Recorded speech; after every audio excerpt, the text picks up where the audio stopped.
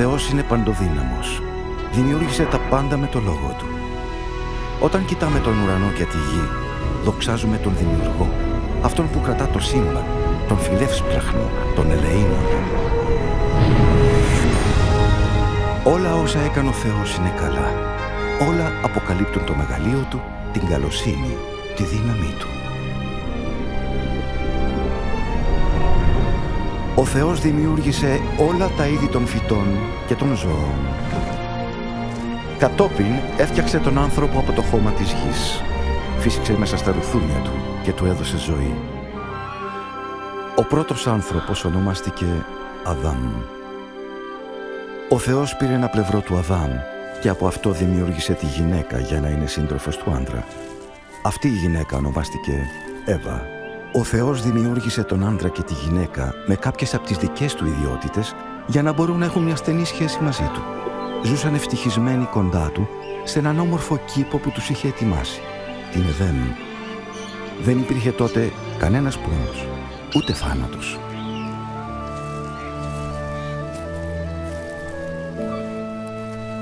Ο Θεός είπε στον Αδάμ «Μπορείς να τρως από τους καρπούς όλων των δέντρων, εκτός από ένα. Αν φας εκείνο τον καρπό θα πεθάνεις». Κάποια μέρα όμως ο σατανάς ξεγέλασε την Εύα. Πήρε τον καρπό του δέντρου, έφαγε και έδωσε και στον Αδάμ να φάει. Αυτή η άσχημη πράξη χάλασε τη σχέση τους με το Θεό, γιατί ο Θεός είναι Άγιος και οι αμαρτωλοί δεν μπορούν να ζουν κοντά Του. Έτσι ο Θεός τους έλειωξε από τον κήπο της Εδέμ, επειδή αμάρτησαν και δεν υπάκουσαν σε Αυτόν. Από τότε όλοι οι άνθρωποι ζουν μέσα στα βάσανα και τον πόνο και πεθαίνουν. Ο φιλεύσπλαχνος Θεός όμως είχε ένα σχέδιο να φέρει τους ανθρώπους και πάλι κοντά Του για να μπορούν να ζουν για πάντα μαζί Του, στη βασιλεία Του.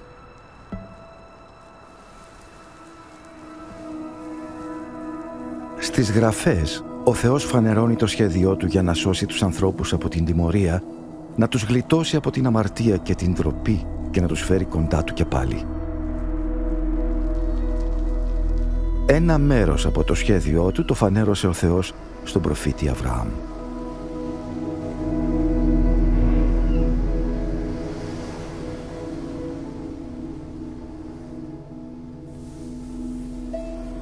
Ο Αβραάμ εμπιστεύτηκε το Θεό και τον τίμησε.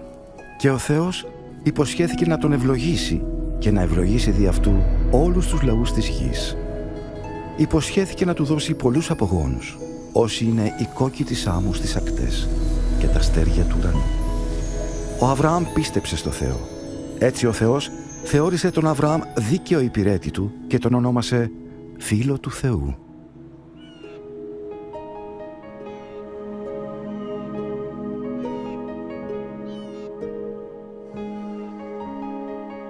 Ο Θεός έβαλε σε δοκιμασία τον Αβραάμ για να δει αν θα τον εμπιστευόταν και αν θα υπάκουε στις εντολές του. Είπε λοιπόν στον Αβραάμ να θυσιάσει το γιο του. Ο Αβραάμ γνώριζε ότι ο Θεός είχε υποσχεθεί να του δώσει απογόνους από αυτό το γιο, αλλά αποφάσισε να υπακούσει και να εμπιστευτεί το Θεό. Γι' αυτό και ετοιμάστηκε να θυσιάσει το γιο του στο Θεό.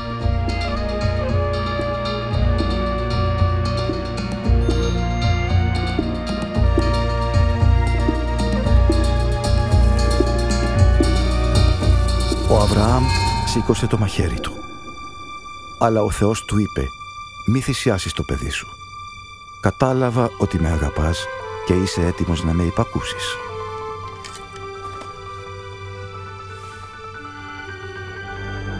Τότε ο Αβραάμ είδε ένα κρυάρι εκεί κοντά.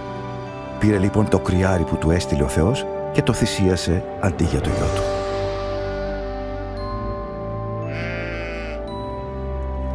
Όταν ο φιλεύσπλαχνος και λέιμον Θεός έστειλε στον Αβραάμ ένα κρυάρι για να το θυσιάσει στη θέση του γιού του, φανέρωσε τη μεγάλη αγάπη του για τους ανθρώπους. Μας αγαπάει όπως ένας καλός πατέρας αγαπάει το γιο του. Έτσι ο Θεός αποκάλυψε ότι σχεδίαζε να θυσιάσει κάποιον που θα πέθαινε στη θέση των ανθρώπων.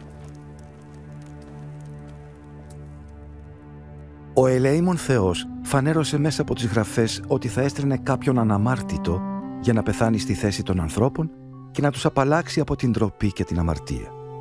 με τη μεγάλη αυτή θυσία, όσοι θα πίστευαν στο Θεό θα μπορούσαν να ζήσουν μαζί Του αιώνια. Οι προφήτες τον ονόμασαν Μεσσία. Είπαν ότι ο Θεός θα έστελνε το Μεσσία για να σώσει τους ανθρώπους και να βασιλέψει για πάντα στο όνομα του Θεού.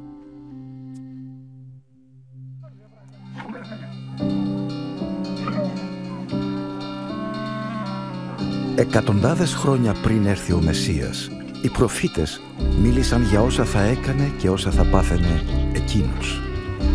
Ο προφήτης Δαβίδ είπε ότι ο Θεός θα έλεγε για τον Μεσσία «Εσύ είσαι ο γιος μου». Οι προφήτες δεν μιλούσαν για φυσικό γιο, αλλά για τον αιώνιο λόγο του Θεού που θα γεννιόταν μέσω της Παρθένου Μαρίας σαν κανονικός άνθρωπος. Οι προφήτες χρησιμοποίησαν την ονομασία «Γιος του Θεού» για να μιλήσουν για τη στενή σχέση του Μεσσία με τον Θεό και το έργο του. Οι προφήτες είπαν «Μία Παρθένος θα μείνει έγκυος και θα γεννήσει έναν γιο».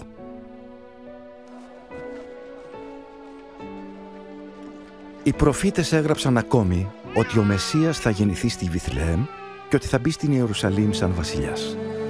Έγραψαν επίσης ότι θα τον προδώσει ένας φίλος του για 30 σημαίνια νομίσματα. Οι προφήτες είπαν πως ο Μεσσίας θα θυσιάσει τη ζωή του, αλλά ο Θεός θα τον αναστήσει από το θάνατο τρεις μέρες μετά. Οι προφήτες ονόμασαν το Μεσσία γιο του ανθρώπου, διότι ήταν και άνθρωπος. Και είπαν ότι θα επιστρέψει κοντά στο Θεό και ότι ο Θεός θα του δώσει εξουσία επάνω σε όλα τα έθνη για πάντα.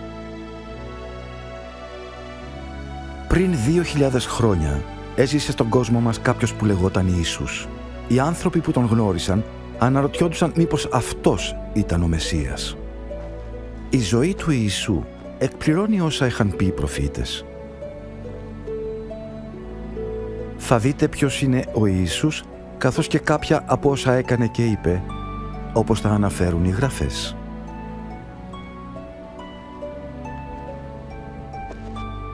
Σε αυτή την ταινία, κάποιος άνθρωπος παίζει το ρόλο του Ιησού.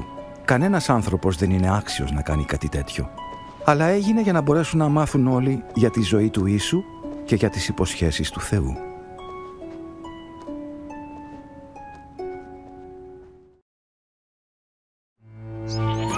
Αγαπητέ Θεόφιλε, σου γράφω τα γεγονότα όπως ακριβώς συνέβησαν ανάμεσά μας για να γνωρίσεις την απόλυτη αλήθεια για όλα όσα έγιναν.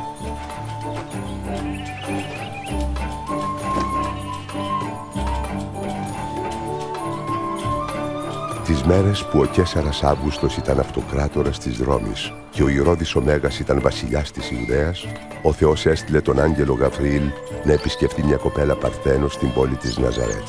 Το όνομά της ήταν Μαριάμ.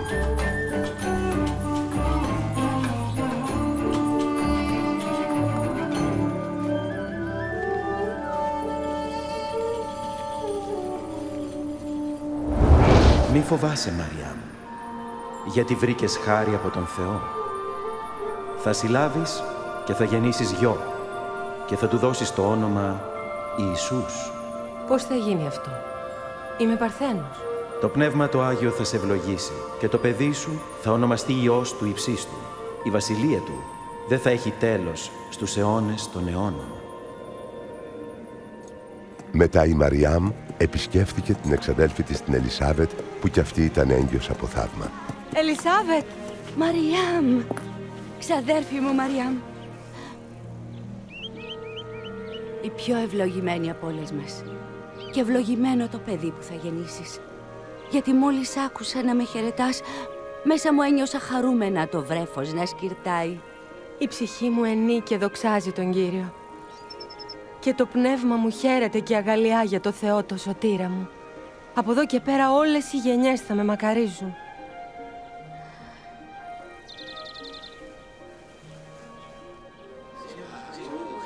Ακούστε καλά όλοι οι κάτοικοι της Ναζαρέτ. Με διαταγή του 4 Αύγουστου πρέπει να γίνει η απογραφή σε όλη την περιοχή της Γαλιλαίας και της Ιουδαίας. Όλοι οι κάτοικοι πρέπει να πάνε και να απογραφούν στους τόπους καταγωγής τους.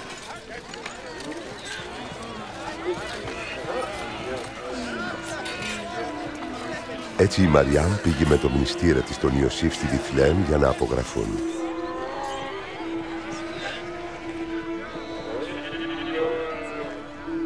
Όμως δεν υπήρχε τόπος για αυτούς στη Βιθλέμ και το μόνο κατάλημα που μπόρεσαν να βρουν ήταν ένας ταπεινός στάβλος.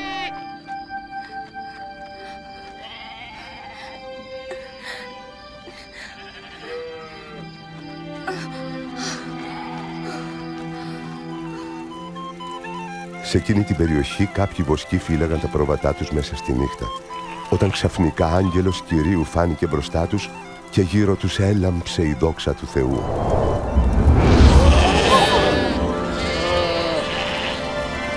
Σήμερα στην πόλη του Δαβίδ γεννήθηκε ο Χριστός, ο Κύριος, ο Σωτήρας.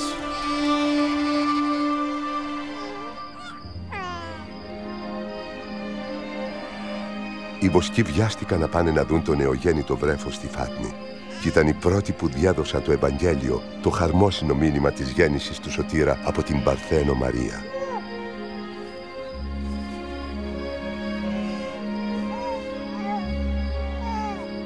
Όταν ήρθε η μέρα της περιτομής του βρέφους, του έδωσαν το όνομα Ιησούς και ο Ιωσήφ με τη Μαριάμ πήγαν το παιδί στα Ιεροσόλυμα για να το παρουσιάσουν στον Κύριο. Στο ναό ζούσε ένας καλός και ευσεβής γέροντας, στον οποίο το Άγιο Πνεύμα είχε φανερώσει ότι δεν θα πέθαινε μέχρι να έβλεπε τον Μεσσία. Το όνομά του ήταν Σιμεών. Κύριε, ανάπαυσε τώρα το δούλο σου με ειρήνη, όπως του το υποσχέθηκες.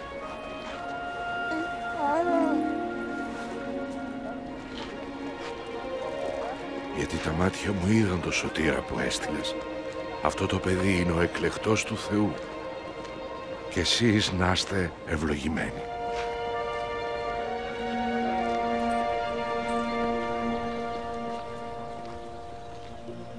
Και όταν τελείωσαν όλα όσα έπρεπε να γίνουν σύμφωνα με τον νόμο του Μωυσή, έφυγαν από τα Ιεροσόλυμα και γύρισαν στη Ναζαρέτ. Όταν ο Ιησούς έγινε 12 χρόνων, ο Ιωσήφ και η Μαριάμ τον πήραν μαζί τους στην Ιερουσαλήμ για τη γιορτή του Πάσχα. Μετά τη γιορτή πήραν το δρόμο του γυρισμού, νομίζοντας πως το παιδί ήταν μαζί τους. Ο Ιησούς όμως είχε μείνει πίσω στην Ιερουσαλήμ. Γύρισαν στην πόλη για να τον αναζητήσουν και την τρίτη μέρα τον βρήκαν στο ναό να κάθεται μαζί με τους νομοδιδασκάλους. Τι είναι αυτό το παιδί που κάνει τέτοιες ερωτήσεις; Είναι από την Ναζαρέτ. Νομίζαμε πως ήταν μαζί μας. Συγχωρέστε τον για το ζήλο. Όλοι όσοι τον άκουσαν έμειναν έκπληκτοι. Παιδί μου, γιατί το έκανες αυτό; Ο πατέρας σου και εγώ ανησυχήσαμε πολύ και σαν αναζητούσαμε παντού. Γιατί με ψάχνατε; Δεν ξέρετε πως πρέπει να είμαι στο σπίτι του πατέρα μου.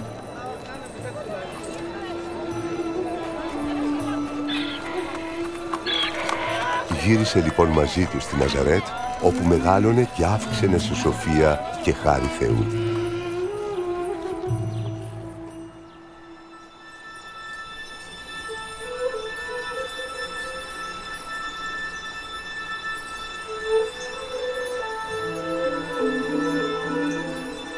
Η ζωή, το έργο και τα πάθη του Ιησού. Όπως εξιστορούνται κυρίως στο Καταλουκάν Άγιο Ευαγγέλιο.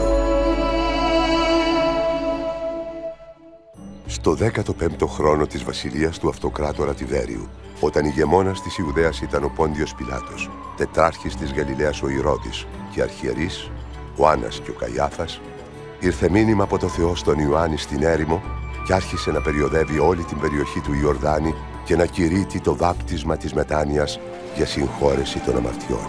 Απαρνηθείτε τις αμαρτίες σας! Βαπτιστείτε! Και ο Θεός θα σας συγχωρέσει! Ό,τι σας λέω είναι γραμμένο στο βιβλίο του προφήτη Ισαΐα. Μια δυνατή φωνή αντυχεί στην έρημο. Ετοιμάστε το δρόμο για τον ερχομό του Κυρίου. Κάντε ίσια τα μονοπάτια του. Κάθε φαράγγι θα γεμίσει.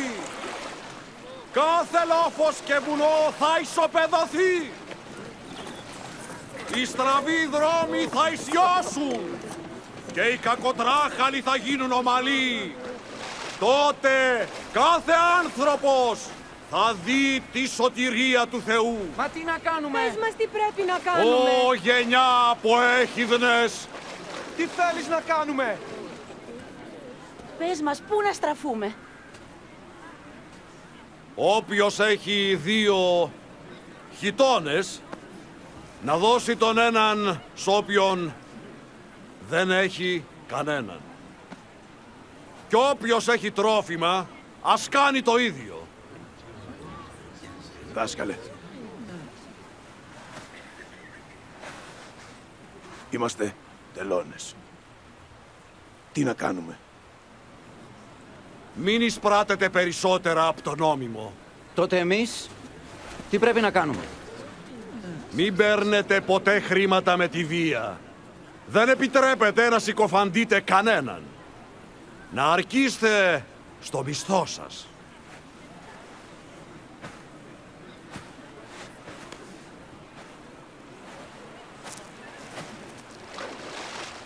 Για πες μας, εσύ είσαι ο Χριστός;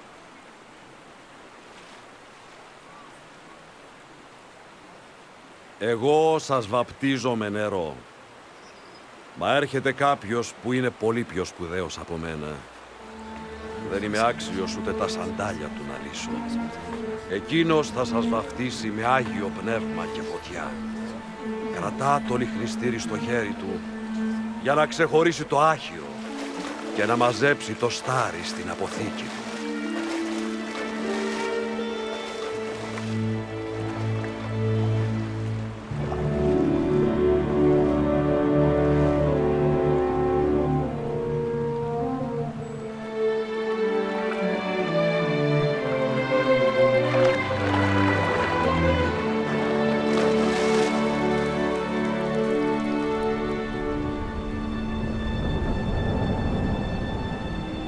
Και το Άγιο Πνεύμα κατέβηκε και στάθηκε πάνω στον Ιησού με μορφή περιστεριού.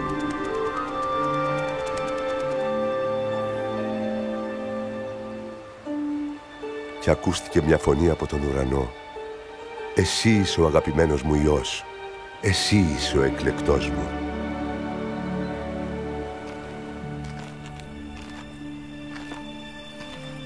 Όταν ο Ιησούς άρχισε το έργο του, ήταν περίπου 30 χρόνων.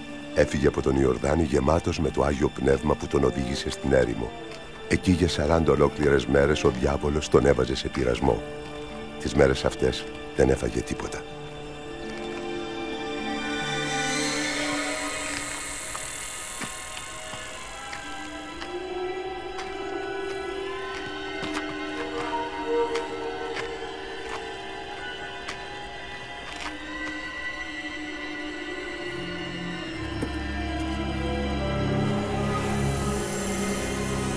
Διάβολος του είπε Αν είσαι γιος του Θεού, πες αυτή την πέτρα να γίνει ψωμί.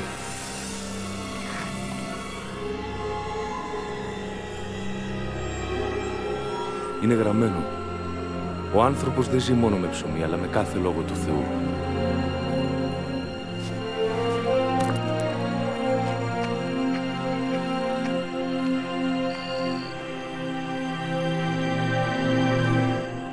Ύστερα ο διάβολος τον ανέβασε κάπου ψηλά και του έδειξε σε μια στιγμή όλα τα βασίλεια της οικουμένης. Θα σου δώσω όλη αυτήν την εξουσία και όλο τον πλούτο. Είναι δικά μου και εγώ μπορώ να τα δώσω σε όποιον επιλέξω. Θα γίνουν όλα δικά σου, αν με προσκυνήσεις. Είναι γραμμένο τον Κύριο το Θεό σου να προσκυνάς. Και Αυτόν μόνο να λατρεύεις.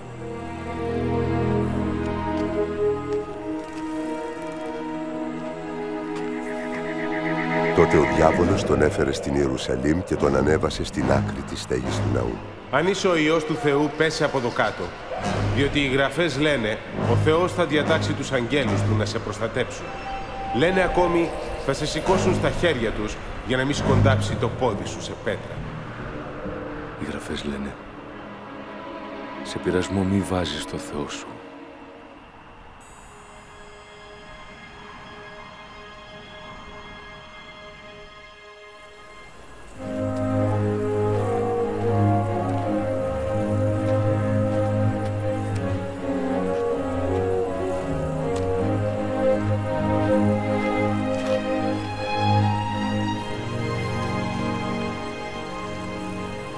Επέστρεψε στη Ναζαρέτου που είχε μεγαλώσει.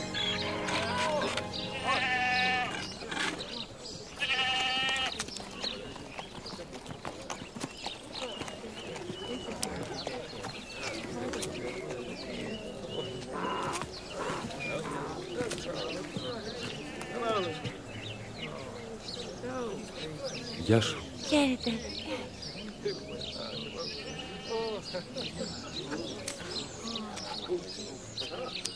Και κατά την ημέρα του Σαββάτου, όπως το συνήθιζε, πήγε στη συναγωγή.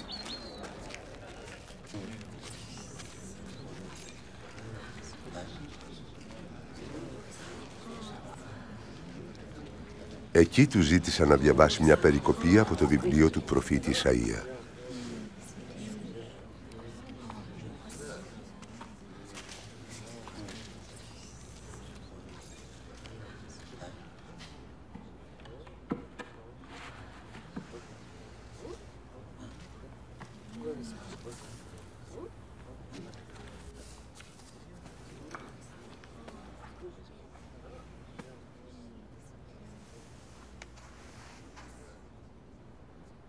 Πνεύμα του Κυρίου είναι πάνω μου, γιατί με έστειλε να φέρω στους φτωχούς νέα χαρμόσυνα.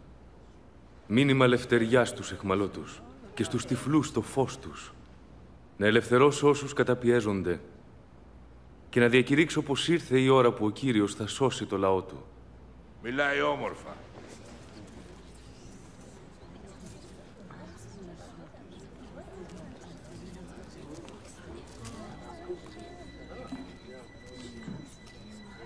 Προφητεία αυτή που μόλις ακούσατε εκπληρώθηκε σήμερα. Εκπληρώθηκε σήμερα; Μόνο ο Μεσσίας μπορεί να την εκπληρώσει. Και πού το ξέρουμε; Θα μου πείτε ασφαλώς αυτή την παροιμία.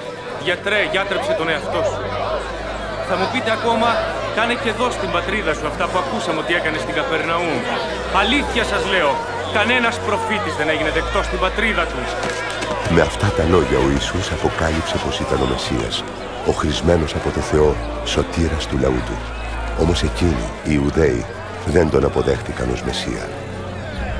Θέλησαν τότε να τον ρίξουν στον κρεμό. Αυτός όμως πέρασε ανάμεσα από το πλήθος και τράβηξε το δρόμο του.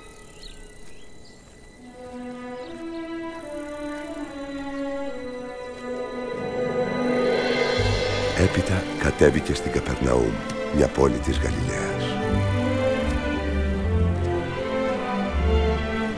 Η ρωμαϊκή κατοχή ήταν φανερή παντού και οι άνθρωποι λαχταρούσαν τον ερχομό του Μεσσία για να τους απαλλάξει από την τυραννία.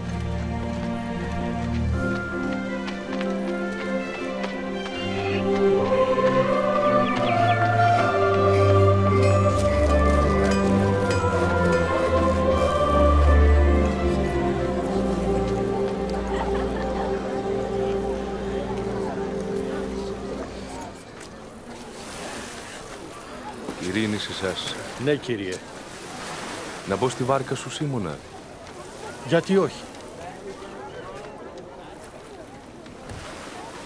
Δεν πιστεύω να φύγει, ε. Μίλησέ μας, μίλησέ μας. Μίλησέ μας! Ιησού, μίλησέ μας.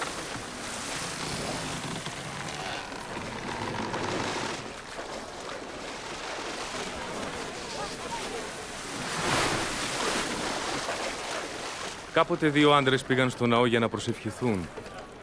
Ο ένας ήταν Φαρισαίος και ο άλλος ήταν Τελώνης. Ο Φαρισαίος προσευχήθηκε μόνος και επιδεικτικά. «Σε ευχαριστώ, Θεέ μου. Σε ευχαριστώ που δεν είμαι άπλιστος, άδικος και μοιχός όπως οι άλλοι. Σε ευχαριστώ που δεν είμαι σαν εκείνον εκεί, τον Τελώνη. Νηστεύω δύο φορές τη βδομάδα. Δίνω το ένα δέκατο από τα εισοδήματά μου. Ο Τελώνης όμως στεκόταν κάπου παράμερα και δεν τολμούσε ούτε να κοιτάξει τον ουρανό. Τυπούσε το στήθος του και έλεγε «Θεέ μου, σπλαχνίσουμε τον αμαρτωλό». Σας λέω, ο Τελώνης γύρισε σπίτι του δικαιωμένος από το Θεό, ο Φαρισαίος όχι. Γιατί όποιος υψώνει τον εαυτό του θα ταπεινωθεί.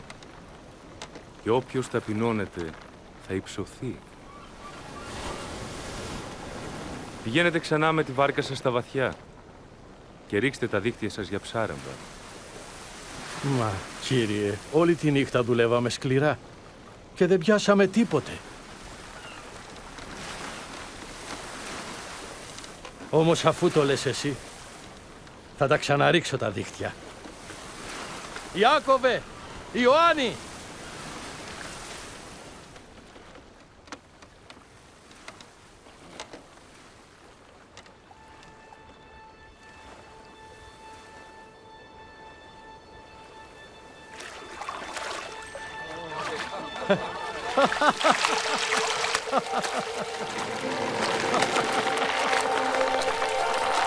Ιάκωβε!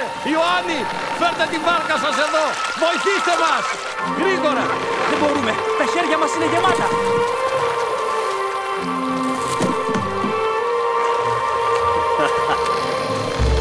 Φτάνουν. Αρκετά είναι.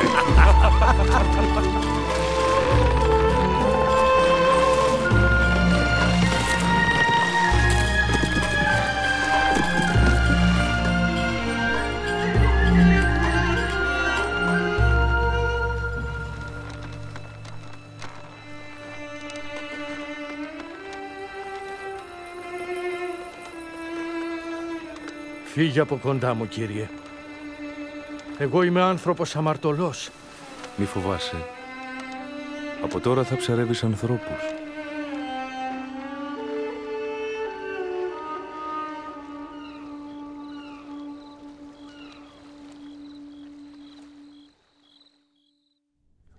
Ελάτε σε μένα. Ακούστε τα λόγια μου και θα έχετε ζωή. Αναζητήσετε τον Κύριο τώρα που μπορεί να βρεθεί. Καλέστε Τον όσο είναι κοντά. Ο αμαρτωλός σας αλλάξει ζωή και ο άδικος αποφάσεις. Επιστρέψτε στον Κύριο και εκείνος θα σας πλαχνιστεί. Θα συγχωρήσει τις αμαρτίες σας και εσείς θα πορευθείτε με χαρά και θα βαδίσετε με ειρήνη. Έρχεται! Νάτος, κοιτάξτε! Έρχεται! Ιησού! Σε οικετεύω, Ιησού! Σώσε τη μοναχοκόρη μου! Σπλαχνίσου την, Κύριε! Μόνο 12 χρόνων είναι και πεθαίνει! Σε οικετεύω! Έλα μαζί μου! Ιάιρε, λυπάμαι. Ιησού! Η κόρη σου πέθανε. Μην ενοχλείς το διδάσκαλο. Μη φοβάσαι. Πίστευε μόνο και θα γίνει καλά.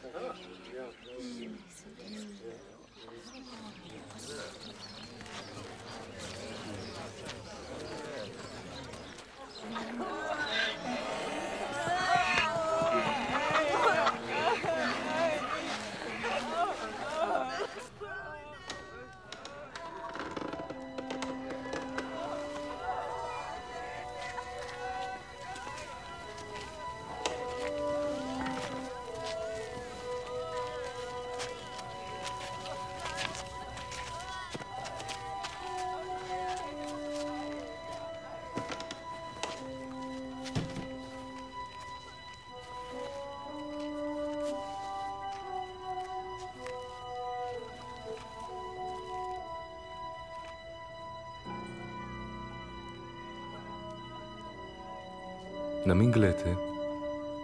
Δεν πέθανε, μόνο κοιμάται.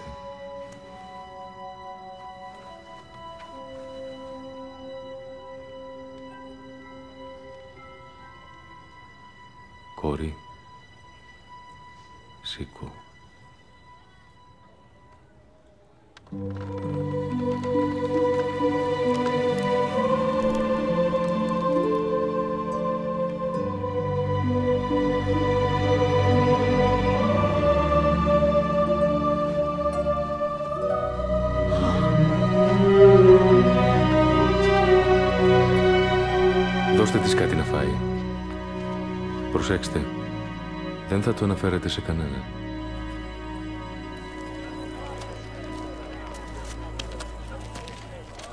Μετά από αυτά είδεν αντελώνει με το όνομα Ματθαίος Λεβής, καθισμένος στο τελωνίο του για την ίσπραξη των φόρων.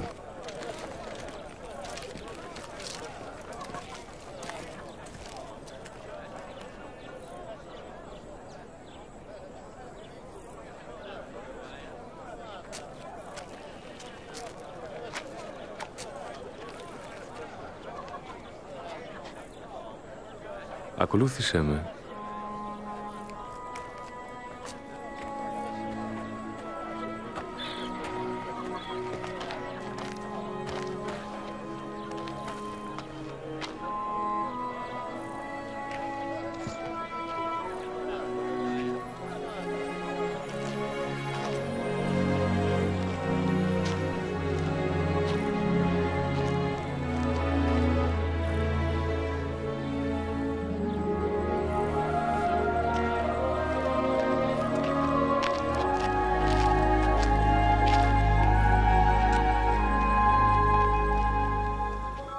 Εκείνες τις μέρες ο Ιησούς ανέβηκε στο όρος για να προσευχηθεί. Προσευχόταν όλη τη νύχτα.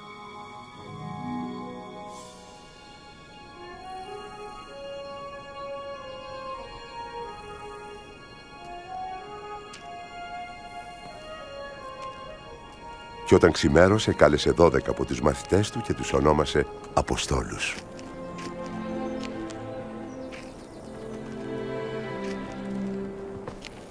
Τον Σίμωνα που τον φώναζε και Πέτρο.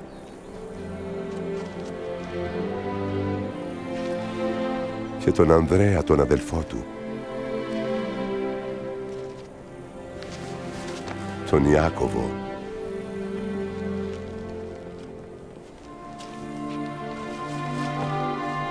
τον Ιωάννη, τον Φίλιππο και τον Βαρθολομαίο,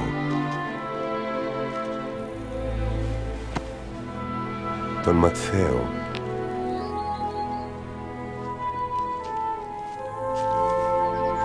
και τον Θωμά,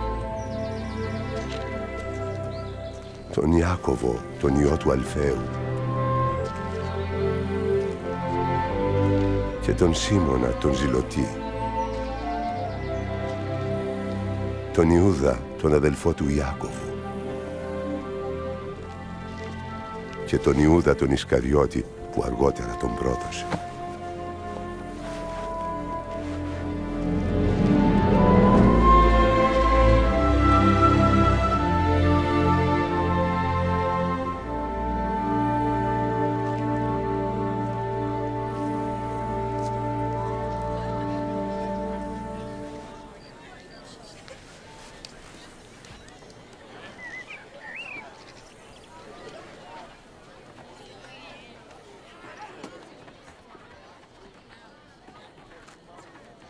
Μακάρι εσείς οι φτωχοί, γιατί σας ανήκει η Βασιλεία του Θεού. Μακάρι εσείς που πεινάτε, γιατί θα χορτάσετε. Μακάρι εσείς που κλαίτε, γιατί θα γελάσετε. Μακάρι θα είστε όταν σας μισήσουν, όταν σας διώξουν, όταν σας χλεβάσουν εξαιτίας του Ιού του ανθρώπου. Τότε γεμίστε με χαρά και αγαλίαση. Γιατί σας περιμένει μεγάλη ανταμοιβή στον ουρανό, επειδή τα ίδια έκαναν και οι πρόγονοι τους τους προφήτες.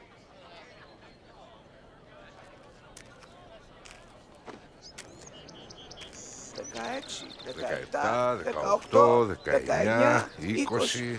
Αυτά είναι όλα. Τι θα πει αυτά είναι όλα, τι θα πει; Αλίμονο σε εσάς τους πλούσιους. Γιατί τελειώνει η καλοπέρασή σας.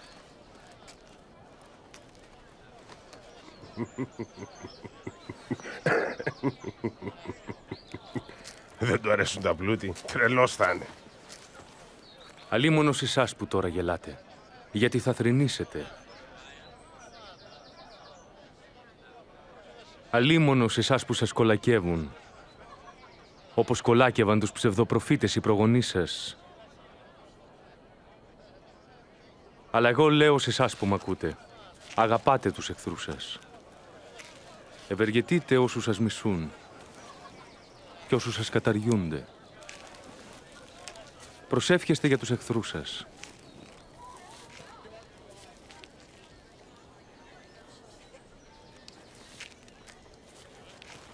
Αν κάποιος σε χτυπήσει στο ένα μάγουλο, γύρνα του και το άλλο.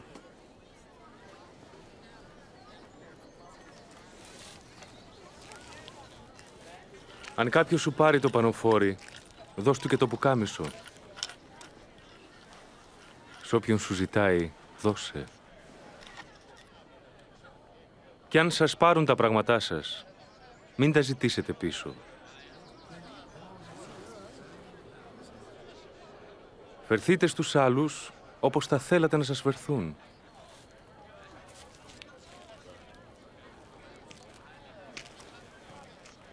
Αν αγαπάτε μονάχα αυτούς που σας αγαπούν, ποια είναι η καλοσύνη σας; Και οι αμαρτωλοί το ίδιο κάνουν. Και αν ευεργετείτε αυτούς που σας ευεργετούν, για ποιο λόγο να ευλογηθείτε; Και οι αμαρτωλοί το ίδιο κάνουν. Πώς μπορεί και την αγγίζει; Πώς μπορεί και της μιλάει; Την τροπή.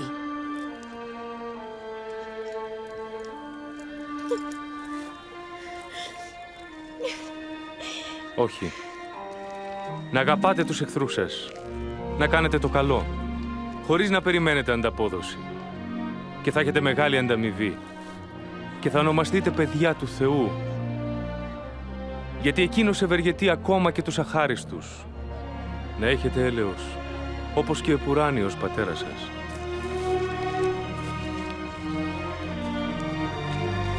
Σώσε μας, Ιησού! Μην κρίνετε για να μην κρυθείτε. Μην καταδικάζετε για να μην καταδικαστείτε. Συγχωρείτε και θα συγχωρεθείτε. Οδήγησέ μας στο δρόμο σου, Κύριε.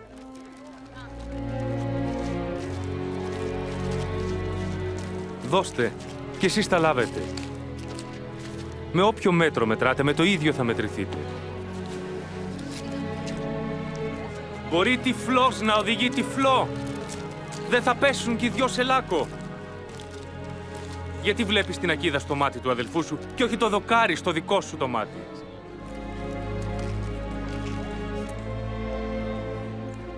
Οδήγησέ μας, Κύριε! Σε έχουμε ανάγκη, Κύριε! Ευλογημένη είναι η μητέρα που σε θύλασε, Κύριε! Ευλογημένοι είναι εκείνοι που ακούνε το Λόγο του Θεού και υπακούουν. Θα ήθελα να τον γνωρίσω. Λες να είναι ο Μεσσίας.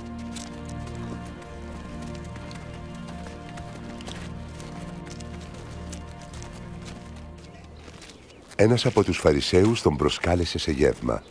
Ο Ιησούς πήγε στο σπίτι του και κάθισε να φάει.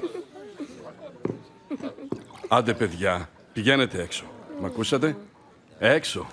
Πάντα την κεφαλή τους κάνουν.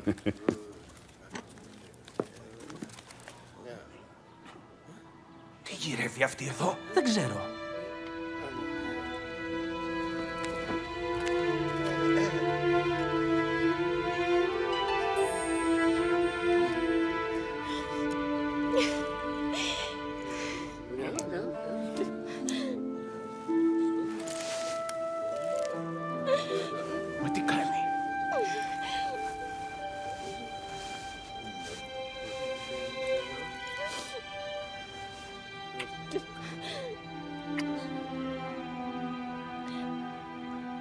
Αυτός ο άνθρωπος ήταν στα αλήθεια προφήτης, θα ήξερε τι είδους γυναίκα τον αγγίζει. Θα ήξερε για την αμαρτωλή ζωή της. Ξέρω ποια είναι αυτή η γυναίκα, Σίμων. Άκουσα όμως κάτι. Ένας δανειστής είχε δύο χρεοφιλέτες. Ο ένας όφιλε 500 δινάρια και ο άλλος 50. Κανένας δεν μπορούσε να τα ξεπληρώσει και εκείνος τους τα χάρισε. Ποιος θα του είναι πιο ευγνώμων; Νομίζω εκείνος τον οποίον χάρισε τα πιο πολλά. Σωστά. Βλέπεις αυτή τη γυναίκα.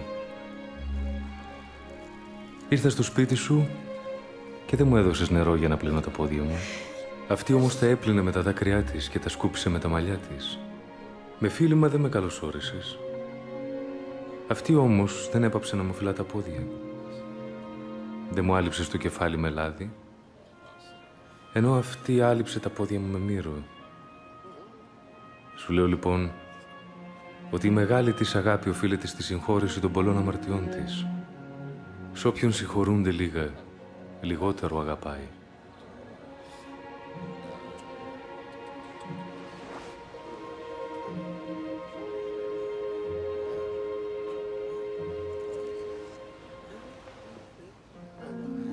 Οι αμαρτίες σου συγχωρέθηκαν.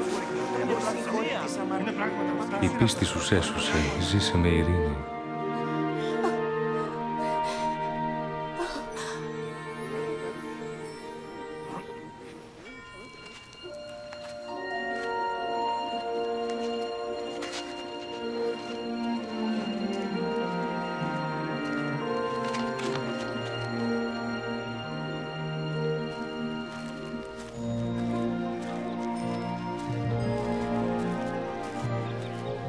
Ιησούς περιόδευε κηρύττοντας το χαρμόσυνο μήνυμα της Βασιλείας του Θεού.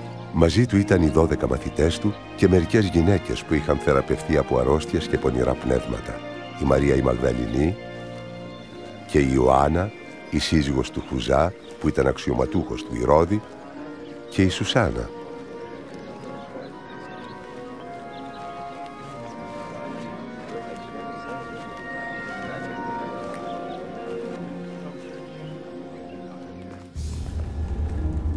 Όμως ο Ηρώδης, ο τετράρχης της Γαλιλαίας, έριξε στη φυλακή τον Ιωάννη τον Βαπτιστή, ο οποίος κατέκρινε το γάμο του με τη γυναίκα του αδελφού του.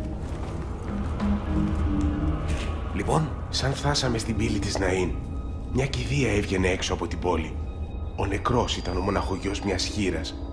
Μόλις την είδε ο Ιησούς, η σπλαχνική καρδιά του τη λυπήθηκε. Άγγιξε τον νεκρό και είπε «Παιδί μου, σου λέω σήκω». Αμέσως ο νεκρός ανακάθισε και τον παρέδωσε στη μητέρα του. Ρωτήστε τον. Πέστε του. Εσύ είσαι αυτός που έλεγε ο Ιωάννης ότι θα έρθει. Ή να περιμένουμε κάποιον άλλον.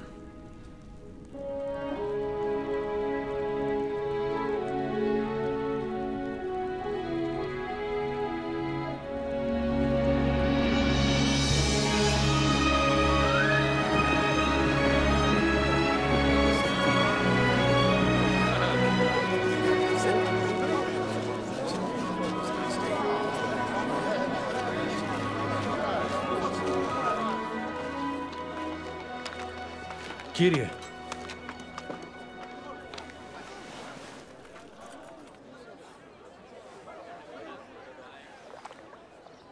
Κύριε.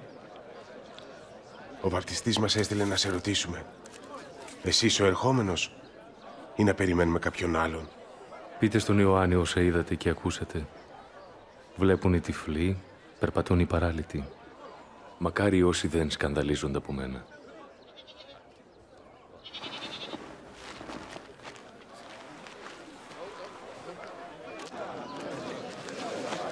Σε παρακαλώ, σήκωσέ με. Άνεβα στον νόμο μου. Βλέπεις τώρα; Να δω τον Ιησού. Ξεκίνησε ο Γιώργος να σπείρει. Και ενώ έσπερνε, όσοι σπόροι έπεσαν κοντά στο δρόμο καταπατήθηκαν. Και τα πουλιά τους φάγανε. Άλλοι έπεσαν σε πετρώδη γη.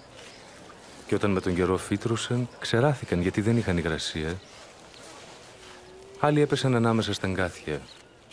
Μα όταν φύτρωσαν, τότε τα αγκάθια τους έπνιξαν. Όσοι όμως έπεσαν στην έφορη γη, αυτοί φύτρωσαν και έδωσαν καρπό. Εκατό φορές περισσότερο. Κύριε, γιατί μιλάς με παραβολές όταν διδάσκεις τα πλήθη; Σε εσάς δόθηκε η χάρη να γνωρίσετε τα μυστικά της Βασιλείας του Θεού. Μα στους υπόλοιπους δίνονται με παραβολές, για να μην καταλαβαίνουν όταν ακούνε και να μην βλέπουν όταν κοιτάνε.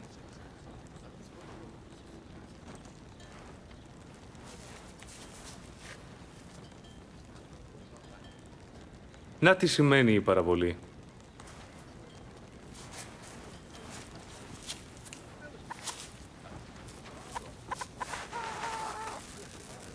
Ο σπόρος είναι ο λόγος του Θεού. Εκείνοι που έπεσαν κοντά στο δρόμο είναι αυτοί που ακούσανε. Μετά έρχεται ο διάβολος και με πονηρία αφαιρεί το λόγο από την καρδιά τους για να μην πιστέψουν και σωθούν. Εκείνοι που έπεσαν στο πετρόδες έδαφος είναι οι άνθρωποι που δέχονται με χαρά το λόγο του Θεού. Μα δεν έχουν ρίζα. Πιστεύουν για λίγο μόνο. Μα στον καιρό της δοκιμασίας απομακρύνονται. Οι σπόροι ανάμεσα στα αγκάθια είναι εκείνοι που ακούν. Αλλά οι φροντίδες για τη ζωή, η αγάπη για τα πλούτη και τις απολαύσεις τους πνίγουν. Και δεν μπορούν να καρποφορήσουν. Και οι σπόροι που έπεσαν στην έφορη γη είναι οι άνθρωποι που με καρδιά καλή και δεκτική ακούν το Λόγο του Θεού. Τον κρατούν μέσα τους και καρποφορούν.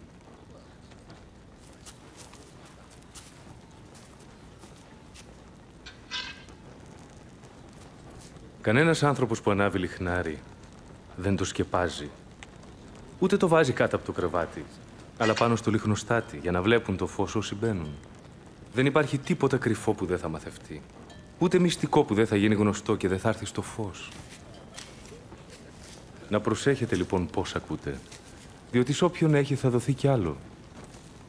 Αλλά από εκείνον που δεν έχει θα του αφαιρεθεί ακόμα και εκείνο που νομίζει ότι έχει. Δάσκαλε, η μητέρα σου και τα αδέλφια σου είναι απ' έξω και θέλουν να σε δουν. Μητέρα μου και αδέλφια μου είναι όσοι ακούνε το Λόγο του Θεού και τον υπακούουν.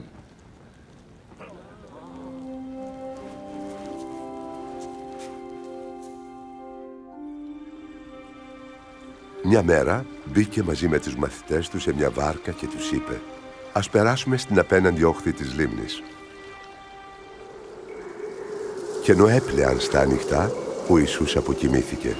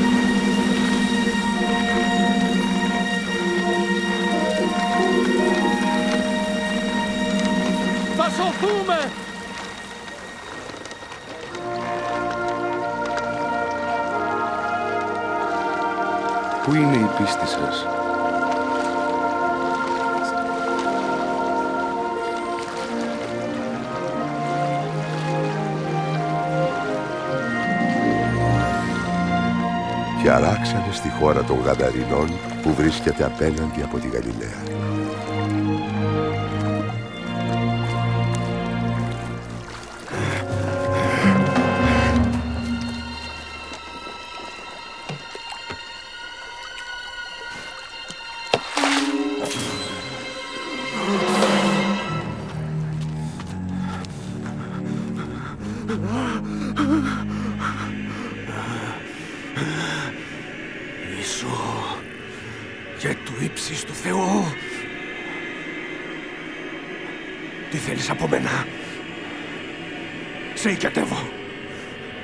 Βασανίσεις.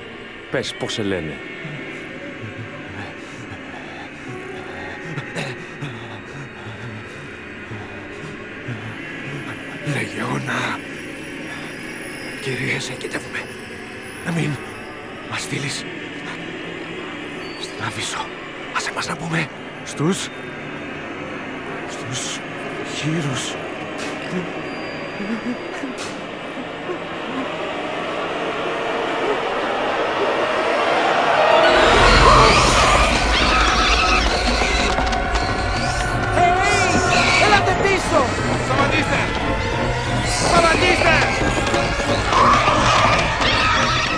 Τα δαιμόνια βγήκαν από τον άνθρωπο Σταματήστε! και μπήκαν στους χείρους.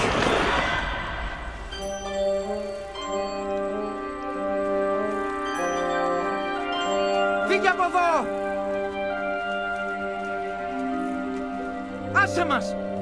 Φύγε από τον τόπο μας! Φύγε! Φύγε από εδώ πέρα!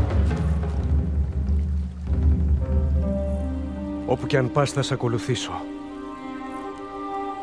Άσε με να έρθω μαζί σου. Γύρνα σπίτι σου και πες τι έκανε ο Θεός για σένα.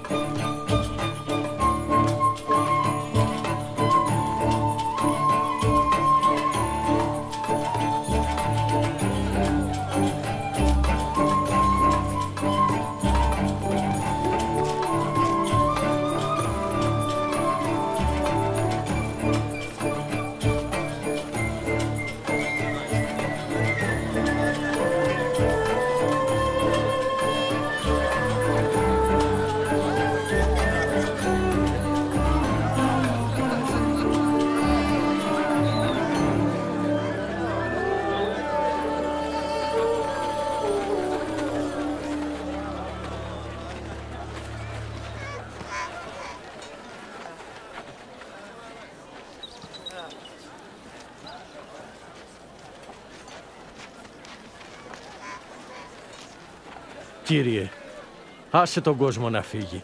Άστο να πάει στα γύρω χωριά και πέρα στα χωράφια για να βρει τροφή και κατάλημα. Εδώ είναι ερημιά.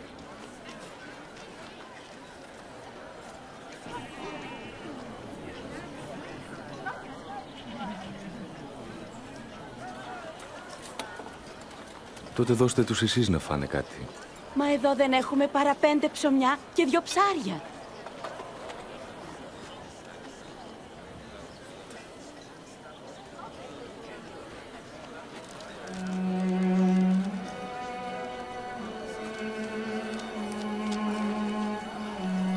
Ευλογημένος είσαι, Κύριε Θεέ, βασιλιά του σύμπαντος, που μας δίνεις τον άρτο απ' τη γη.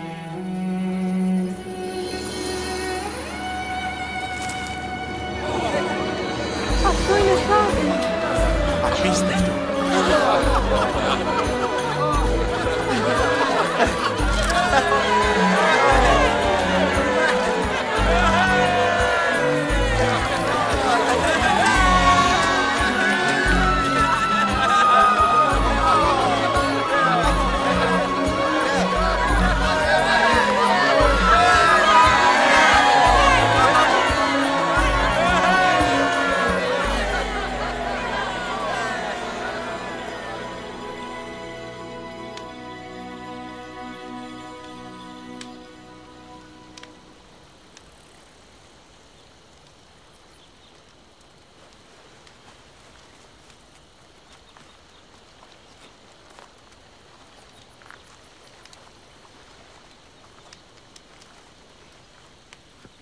Ποιος λένε ότι είμαι; Μερικοί λένε πως είσαι ο Ιωάννης ο Βαπτιστής.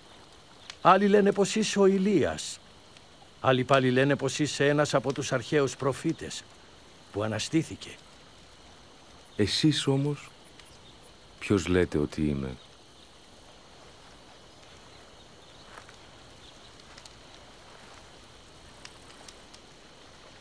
Εσύ είσαι ο Μεσσίας.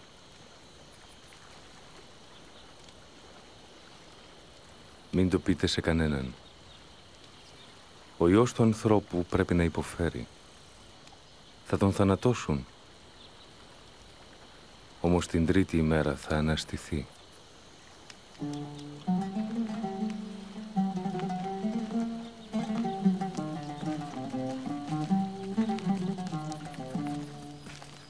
How clearly the sky reveals God's glory.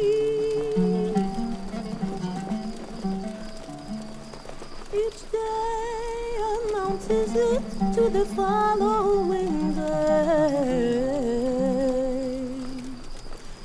Each night repeats it to the next.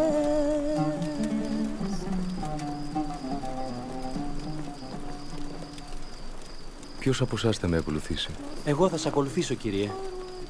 Μάσε με να αποχαιρετήσω την οικογένειά μου. Όποιος βάζει το χέρι του στα λέτρη και κοιτάζει πίσω δεν κάνει για τη Βασιλεία του Θεού. Όποιος θέλει να έρθει μαζί μου ας απαρνηθεί τον εαυτό του. Ας σηκώνει το σταυρό του και ας μ' ακολουθεί. Γιατί όποιος θέλει να σώσει τη ζωή του θα τη χάσει. Και όποιος χάσει τη ζωή του για χάρη μου θα τη σώσει. Τι όφελος θα έχει ένας άνθρωπος αν κερδίσει όλο τον κόσμο και στο τέλος χάσει την ψυχή του; Όποιος άνθρωπος ντραπεί για μένα και τα λόγια μου, σας λέω ότι το ίδιο θα ντραπεί και για αυτόν ο Υιός του ανθρώπου, όταν θα ξανάρθει με τη δόξα του Πατέρα του.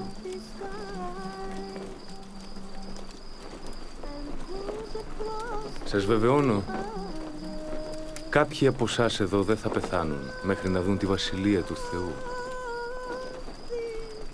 hide from its heat.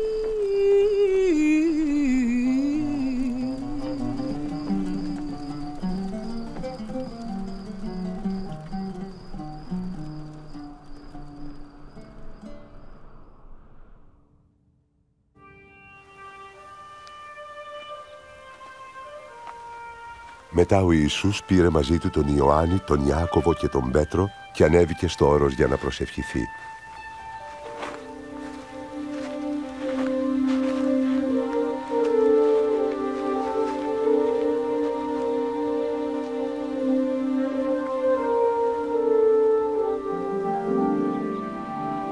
Ενώ προσευχόταν, η όψη του προσώπου του άλλαξε και τα ενδύματα του έγιναν κατάλευκα και στραφτερά.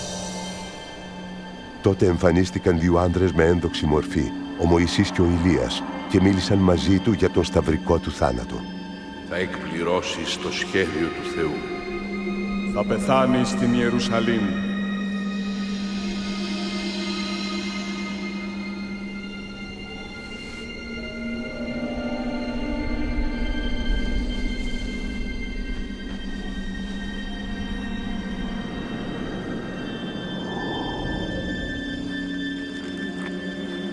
Καθώς εκείνοι απομακρύνονταν, είπε ο Πέτρος στον Ιησού. Κύριε, τι ωραία που είμαστε εδώ. Να στήσουμε τρεις σκηνές. Μια για σένα, Ενώ μιλούσε ο Πέτρος, μια για τον ένα Μωυσή, σύννεφο τους κάλυψε και οι μαθητές φοβήθηκαν. Τότε μια φωνή ακούστηκε. «Αυτός είναι ο Υιός μου, ο αγαπητός. Αυτόν να ακούτε».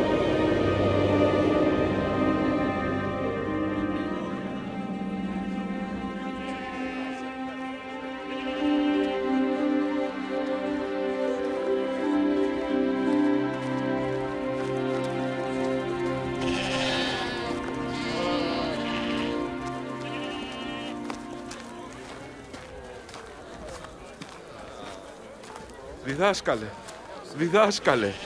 Σε παρακαλώ, σπλαχνίσου το παιδί μου. Σε παρακαλώ, βοήθησέ τον. Είναι ο μοναχογιός μου.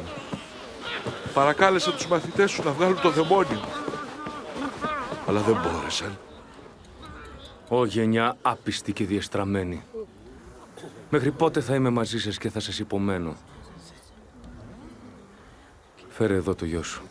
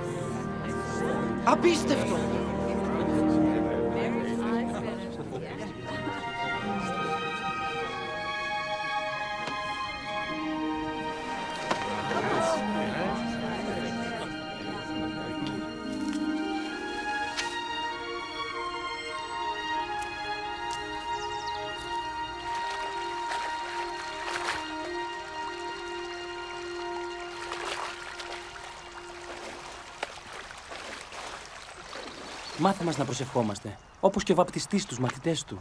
Όταν προσεύχεστε να λέτε «Πάτερ μόνο εν της ουρανής, ας είναι Άγιο το όνομά σου, ας έλθει η βασιλεία σου, ας γίνει το θέλημά σου όπως στον ουρανό έτσι και στη γη. Δίνε μας το καθημερινό μας ψωμί και συγχώρησε τις αμαρτίες μας, διότι και εμείς συγχωρούμε εκείνους που αμαρτάνουν σε μας και μη μας αφήσεις να πέσουμε στον πειρασμό, αλλά ελευθέρωσέ μας από το πονηρό.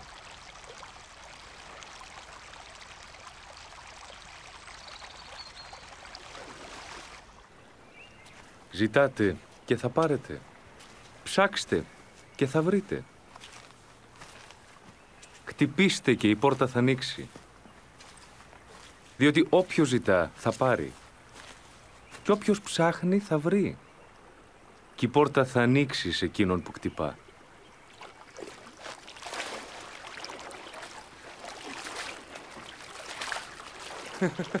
Ποιος γονιός από εσάς, όταν του ζητήσει ο γιος του ψάρι, θα του δώσει να φάει φίδι ή θα του δώσει σκορπιό αντί για αυγό. Αν εσείς που είστε αμαρτωλοί δίνετε καλά πράγματα στα παιδιά σας, πόσο μάλλον ο επουράνιος πατέρας θα δώσει το Άγιο Πνεύμα σε όσους το ζητούν. Σας λέω λοιπόν, μην έχετε έγνοια μόνο για το τι θα φάτε. Μη σας νοιάζει τι θα φορέσετε. Η ζωή είναι πιο πολύτιμη από την τροφή και το σώμα πιο ακριβό από τα ρούχα. Κοιτάξτε τα πουλιά. Ούτε σπέρνουν ούτε θερίζουν. Δεν έχουν αποθήκες μήτε κελάρια. Κι όμως ο Θεός τα τρέφει. Εσείς δεν είστε πιο πολύτιμοι από τα πουλιά.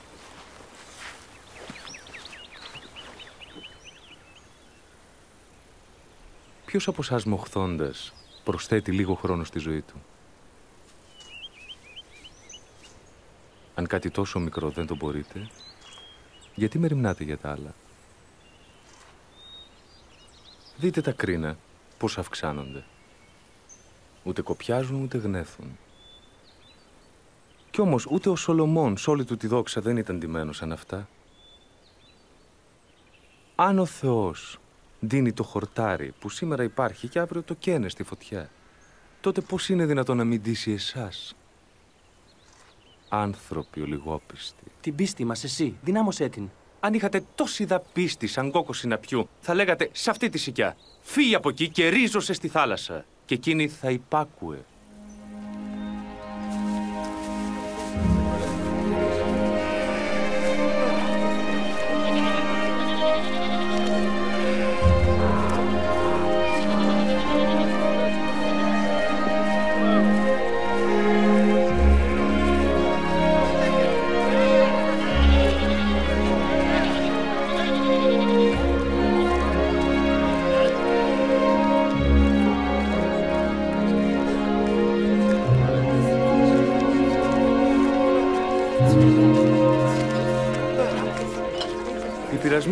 Θα έρθουν σίγουρα.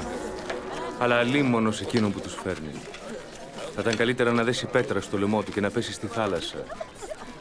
Παρά να κλονίσει την πίστη έστω και ενός μικρού παιδιού.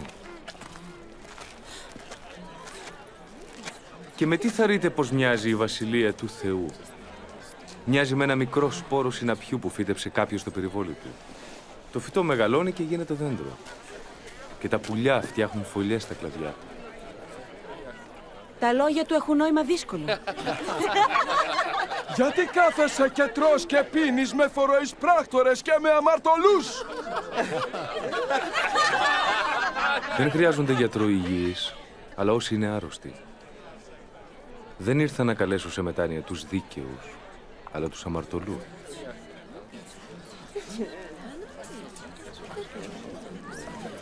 Λέγε μας ξανά για τη βασιλεία σου. Πες μας κι άλλα. Μη φοβάστε εσείς, μικρό πίμνιο, διότι ο πατέρας σας με ευχαρίστηση σας δίνει τη βασιλεία του. Πουλήστε τα αγαθά σας και δώστε τα χρήματα στους φτωχούς. Αποκτήστε έτσι πουγκιά που δεν παλιώνουν και θησαυρούς ανεξάντλητους στους ουρανούς. Εκεί κλέπτης δεν τα πλησιάζει, ούτε σκόρος τα καταστρέφει. Όπου είναι ο θησαυρός σας, είναι εκεί η καρδιά σας.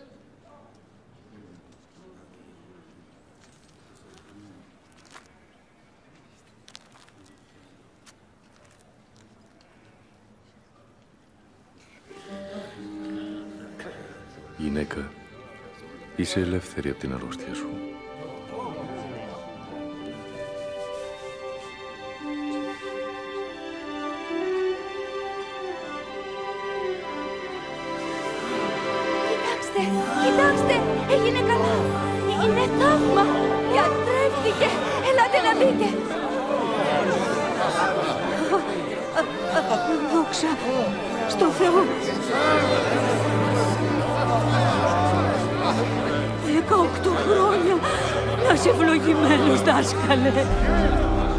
Είναι οι μέρες που πρέπει να εργαζόμαστε.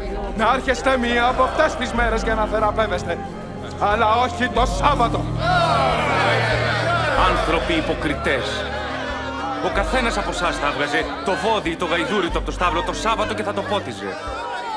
Και αυτή εδώ, απόγονος του Αβραάμ, που ο σατανάς την έδεσε για 18 χρόνια, δεν θα έπρεπε να ελευθερωθεί το Σάββατο.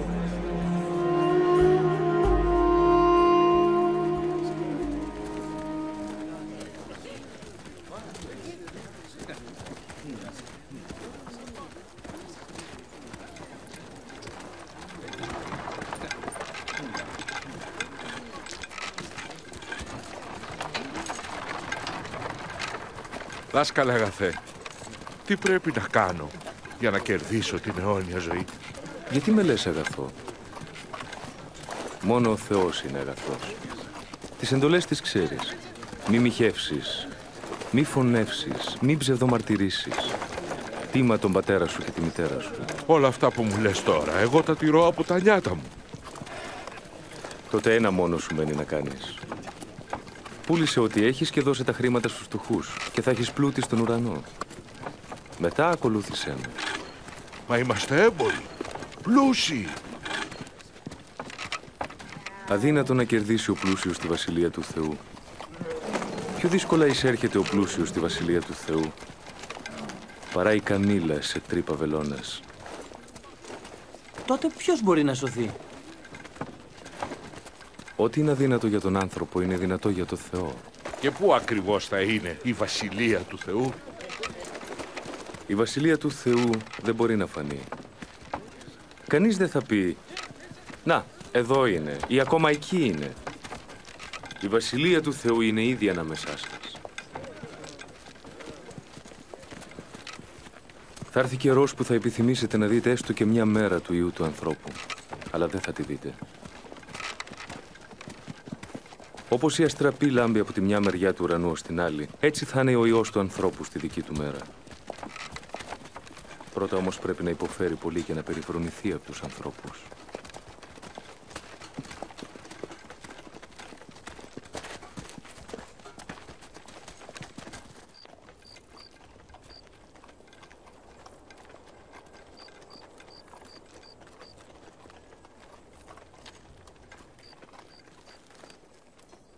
Πιο εύκολο είναι να καταστραφούν ο ουρανός και η γη, παρά να μην εκπληρωθεί ο νόμος του Θεού. Πολλοί προφήτες και βασιλιάδες θέλησαν να δουν όσα βλέπετε, μα δεν τα είδαν. Να ακούσουν όσα ακούτε και δεν τα άκουσαν.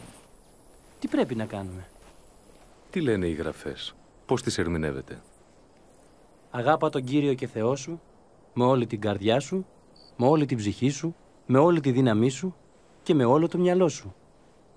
Και τον πλησίον σου σαν τον εαυτό σου. Πολύ σωστά. Κάντε αυτά και θα ζήσεις. Ποιος είναι ο πλησίον μου; Αυτοί οι στρατιώτες. Και ο Κέσσαρας. Κατέβαινε κάποιος από την Ιερουσαλήμ στην Ιεριχώ και έπεσε σε ληστές που τον χτύπησαν, τον έγδισαν και τον άφησαν μεσοπεθαμένο. Κάποια στιγμή έτυχε να περάσει από εκεί ένας ιερέας. Σαν είδε τον άνθρωπο, διάβηκε στην απέναντι μεριά του δρόμου. Ένας Λεβίτης που περνούσε από εκεί πλησίασε, τον είδε και μετά και αυτός τον προσπέρασε. Σε λίγο ένας Σαμαρίτης που ταξίδευε σε εκείνα τα μέρη όταν έφτασε κοντά και είδε τον πληγωμένο τον σπλαχνίστηκε. Άλυψε με λάδι και κρασί τα τραύματά του, τον ανέβασε στο ζώο του και τον έφερε σε ένα πανδοχείο όπου τον περιποιήθηκε. Την επομένη έδωσε στον ξενοδόχο δύο δινάρια και του παράγγειλε Περιποίησου τον άνθρωπο και εγώ όταν επιστρέψω θα πληρώσω ό,τι ακόμα ξοδέψεις γι' αυτόν. Ποιος από τους τρεις αποδείχτηκε ο πλησίον σε αυτόν που τραυμάτισαν οι ληστές; Αυτός που τον σπλαχνίστηκε. Κάνε και εσύ το ίδιο. Αχ, αφήστε τα παιδιά να έλθουν κοντά μου και μην τα εμποδίζετε. Γιατί σε αυτά ανήκει η Βασιλεία του Θεού. Αλήθεια σας λέω.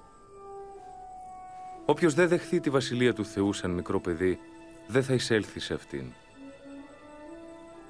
Και όποιος δέχεται αυτό το παιδί στο όνομά μου, δέχεται εμένα. Και όποιος δέχεται εμένα, δέχεται εκείνον που με έστειλε. Διότι ο μικρότερος είναι ο μεγαλύτερος.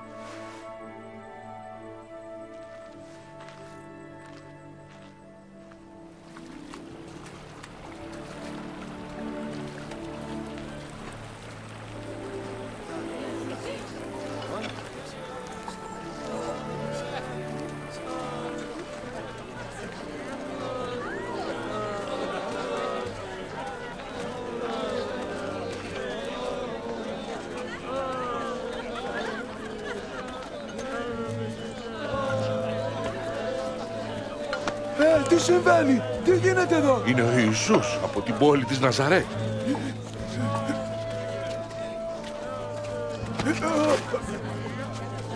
Ιησούς!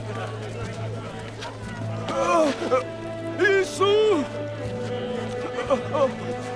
Γεια του Δαβίδ!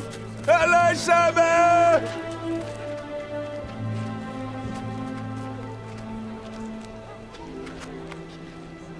Τι θέλεις από μένα; Θέλω να ξαναδώ.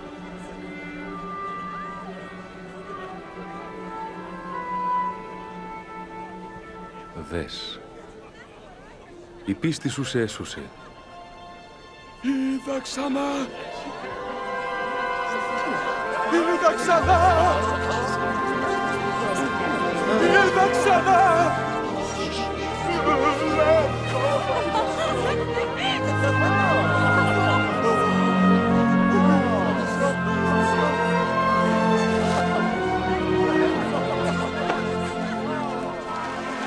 Ιησούς πορευόταν προς την Ιερουσαλήμ και πλήθη τον συναντούσαν όπου περνούσε. Του ζητούσαν να τους δείξει το δρόμο της σωτηρίας και να τους πει περισσότερα για τη Βασιλεία του Θεού.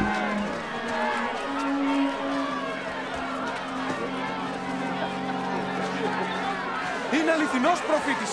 Κύριέ μου, σώσε με!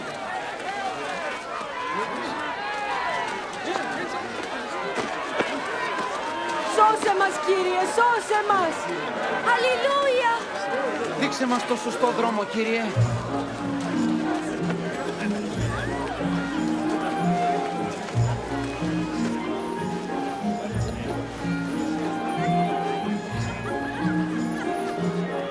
Είναι ο φοροεισπράκτορ. Κατέβα γρήγορα, Ζακιέ. Θα μείνω σπίτι σου απόψε. Στο σπίτι μου; Γιατί θα πάει στο σπίτι; του. Το ξέρει ο Ζακχαίος τον Ιησού.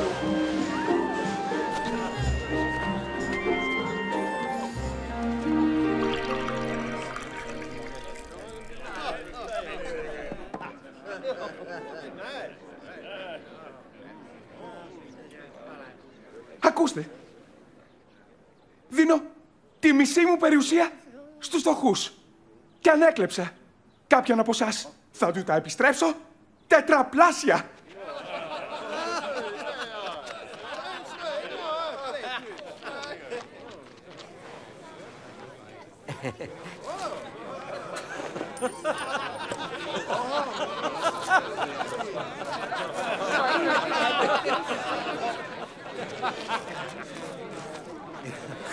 Απίστευτο! Ένας τελώνης που επιστρέφει τους φόρους. Αδύνατο!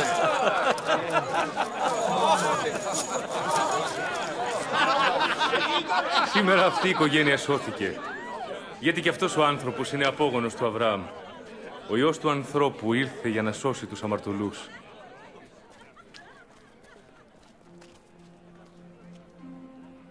Ακούστε.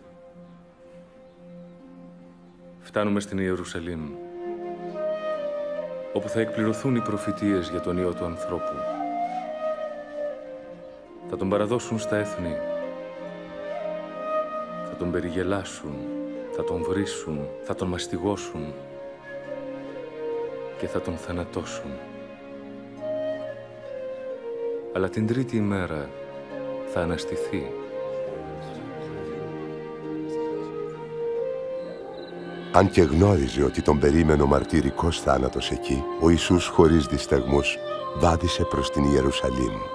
Ο λαός χάρηκε και τον δέχτηκε ως βασιλιά και μεσία.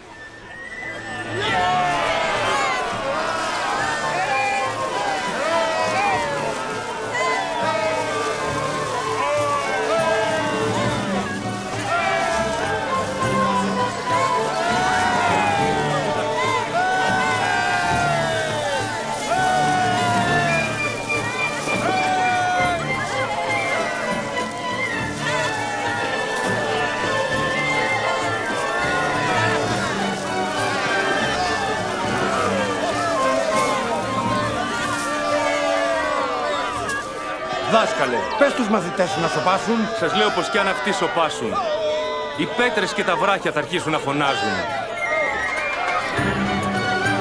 Ευλογημένος ο ερχόμενος!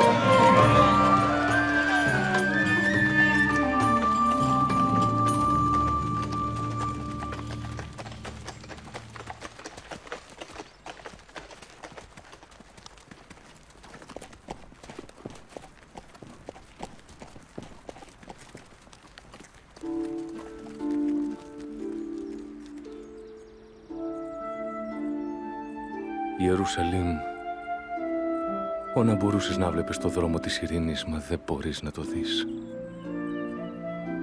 Θα έρθουν μέρες που οι εχθροί σου θα σε πολιορκήσουν, θα σε περικυκλώσουν και η πίεση από παντού θα είναι σκληρή.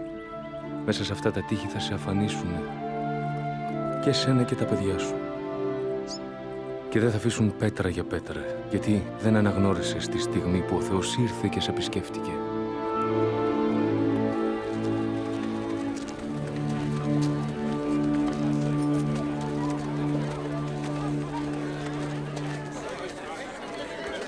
Ο Άγιος Ναός της Ιερουσαλήμ, τόπος προσευχής από παλιά, θύμιζε τώρα πια οίκο εμπορία.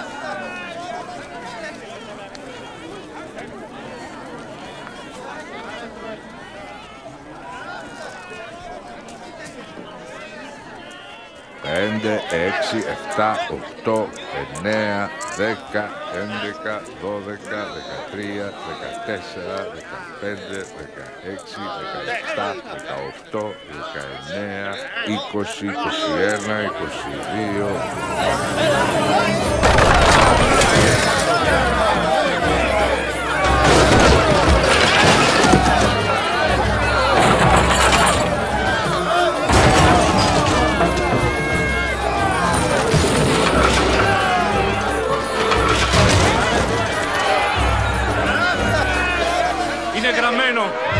Οίκος μου είναι οίκος προσευχής.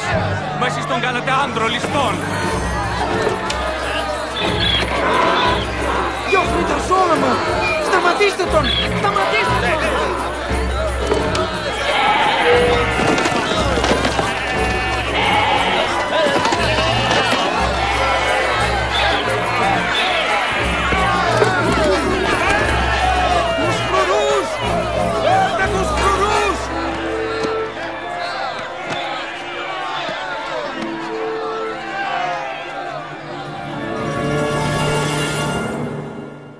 Από ό,τι καταλαβαίνω, πολλοί τον έχουν αποδεχθεί σαν βασιλιά. Βασιλιά. Βασιλιά ζητιάνων, πορνών και αμαρτωλών. Έχουμε ξαναδεί τέτοιους. Έρχονται, λένε τα δικά τους, φεύγουν και ξεχνιούνται. Μην είσαι τυφλός. Οι οπαδοί του αυξάνονται καθημερινά. Και ο κόσμος τον θαυμάζει. Και θα ρει πως είναι βασιλιάς. Σας προειδοποιώ όμως πως, αν αυτός ο άνθρωπος διαταράξει άλλο την ειρήνη, θα είστε υπεύθυνοι.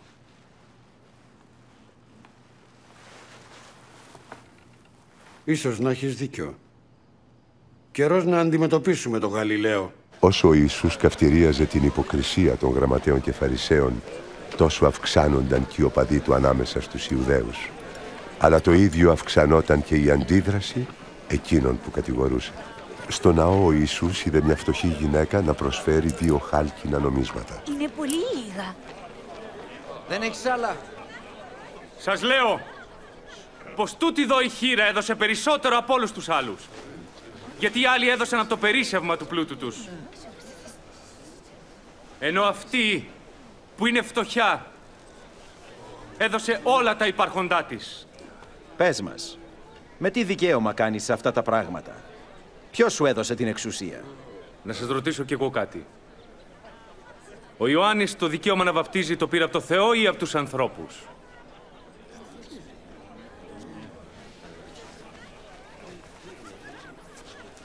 Τι θα απαντήσεις; Αν πούμε από το Θεό, θα πει τότε... Γιατί δεν το πιστέψατε; Αν όμως πούμε από τους ανθρώπους, τότε όλο το πλήθος θα μας λιθοβολήσει. Είναι όλοι βέβαιοι πως ο Ιωάννης ήταν προφήτης. Δεν γνωρίζουμε από πού το πήρε. Τότε ούτε κι εγώ σας λέω με τι δικαίωμα τα κάνω όλα αυτά.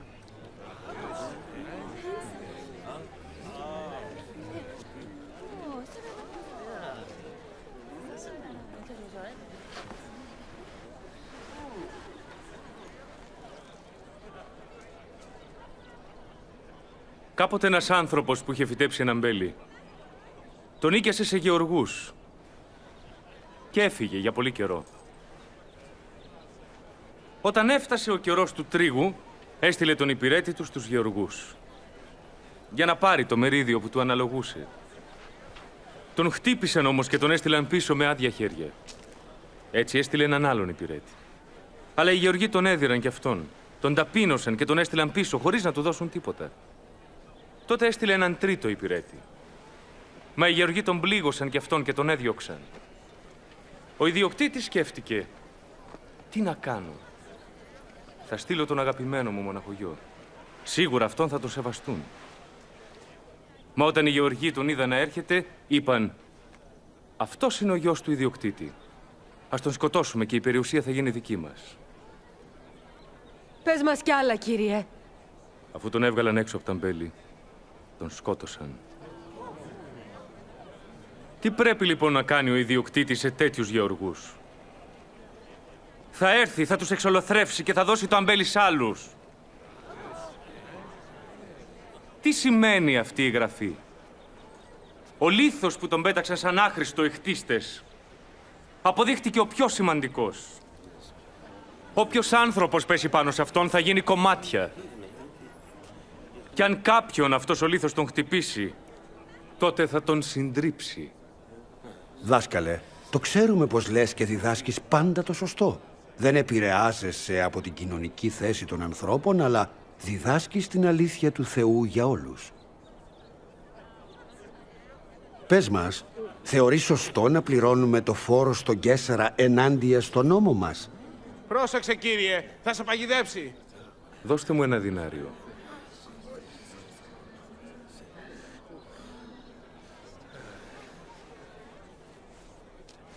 Τι είναι ως το πρόσωπο και το όνομα έχει επάνω. Του Κέσσαρα! Δώστε λοιπόν στον Κέσσαρα όσα ανήκουν στον Κέσσαρα.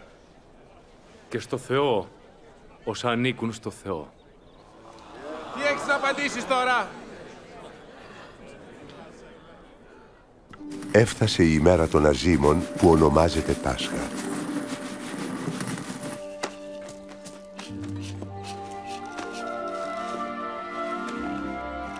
Και ο Ιησούς έστειλε τον Σίμωνα Πέτρο και τον Ιωάννη να ετοιμάσουν το γεύμα για το Πάσχα.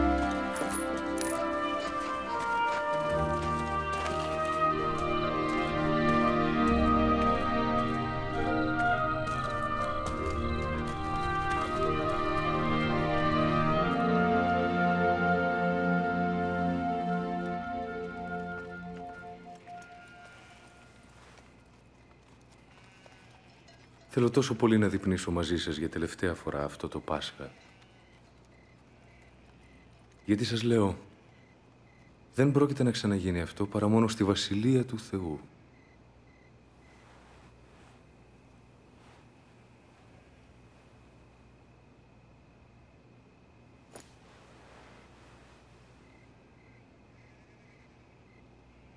Ευλογημένος είσαι, Κύριε Θεέ, Βασιλιά του σύμπαντος, που μας δίνεις τον καρπό από τα μπέλη.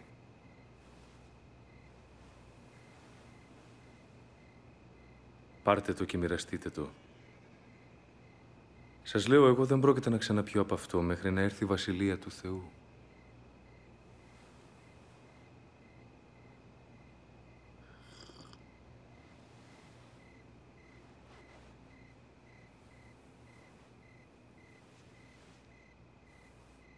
Ευλογημένος είσαι, Κύριε Θεέ, Βασιλιά του σύμπαντος, που μας δίνεις τον άρτο από τη γη.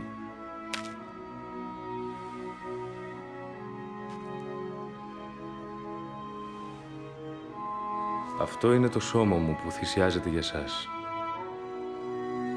Αυτό να κάνετε για να με θυμάστε.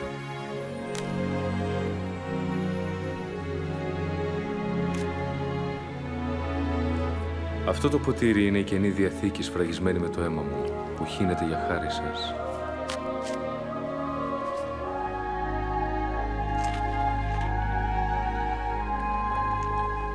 Κάποιος όμως από εσά θα με προδώσει και βρίσκεται εδώ μαζί μας. Μα ποιος μπορεί να το Βέβαια, ο ιό του ανθρώπου θα πορευτεί όπως το καθόρισε ο Θεός, μα αλίμονος σε αυτόν που θα τον προδώσει. Δεν μπορεί. Μα ποιος Μα πώς είναι δυνατόν; Πες μας το προδότη. Δεν μπορώ να το πιστέψω.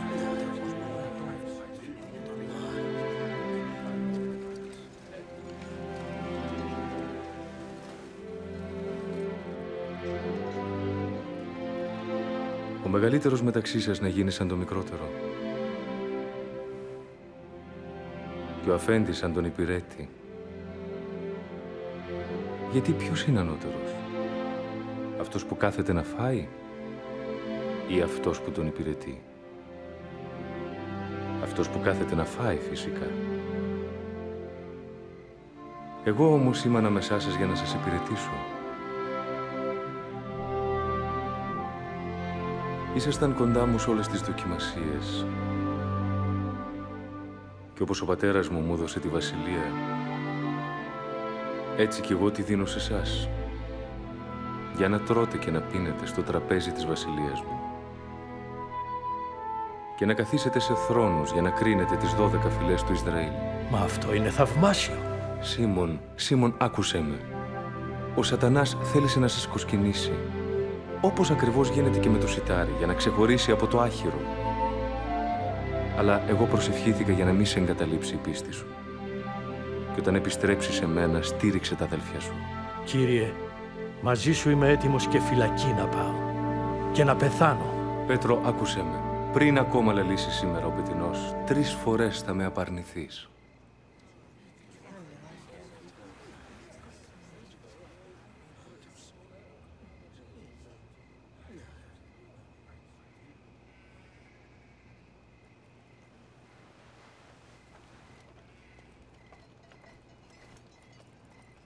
Όταν σας απέστειλα χωρίς χρήματα, πείτε μου, σας έλειψε κάτι; Όχι. Τίποτα. Μα τώρα όποιος έχει χρήματα οι αποσκευές σας τα πάρει. Και όποιος δεν έχει μαχαιρία ας πουλήσει τα ημάτια του και ας αγοράσει. Γιατί σας λέω. Οι γραφές λένε ότι τον κατέταξαν με τους παρανόμους. Και ό,τι είναι γραμμένο για μένα τώρα εκπληρώνεται. Ορίστε. Εδώ έχω δύο μαχαίρια, κύριε.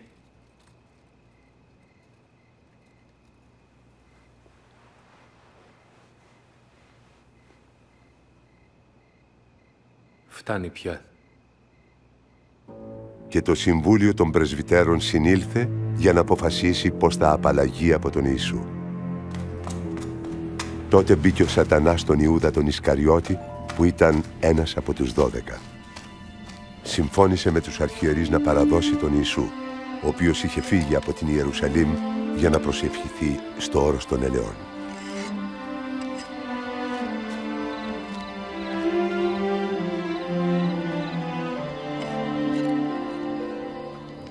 Προσεύχεστε για να μην έλθετε σε πειρασμό.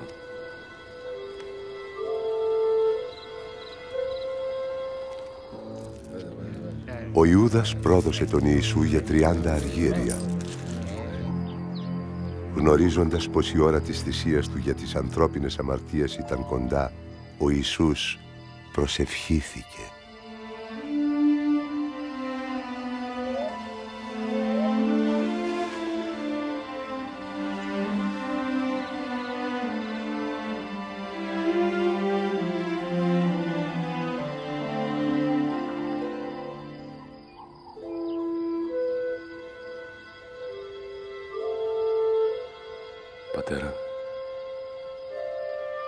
Εσύ το επιθυμείς, απομάκρυνε αυτό το ποτήρι από μένα.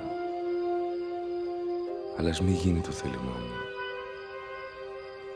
μα το δικό σου το θέλημα.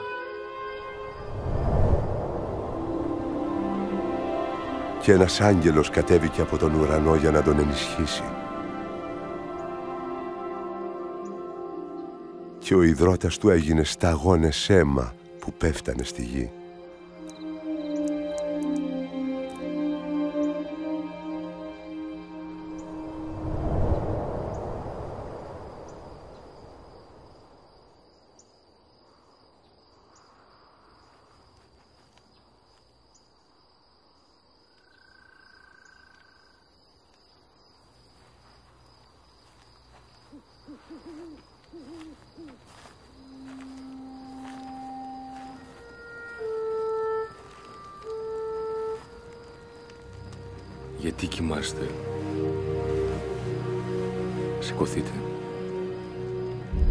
Προσεύχεστε για να μην πέσετε σε πειρασμό.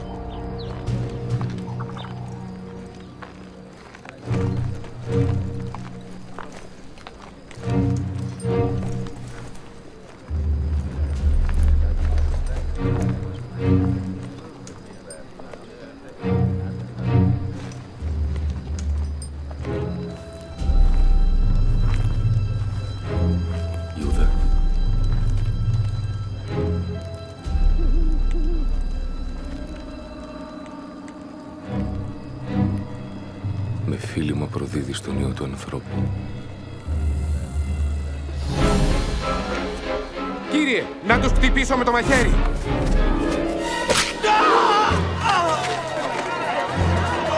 Πιάστε τον! Φτάνει πια.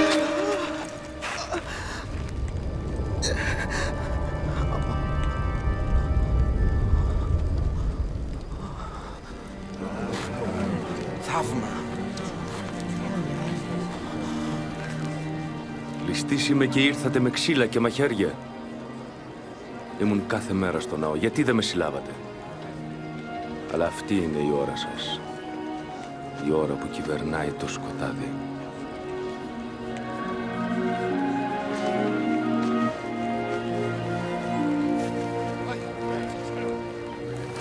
Συλλάβετε τον.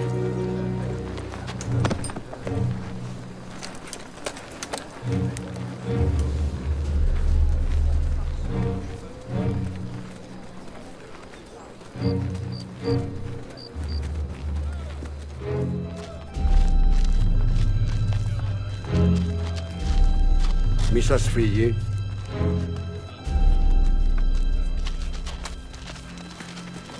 Οι στρατιώτες τον έσυραν στην αυλή και τον χλέβαζαν. Αυτός είναι μανδύας για βασιλιά. Πες μας, ξέρεις τι θα γίνει; Θα μας σώσεις, βασιλιά μας. Θα μας σώσεις. Κι αυτός ήταν μαθητής του. Τι λες γυναίκα, δεν τον ξέρω. Ναι, τους είδα μαζί.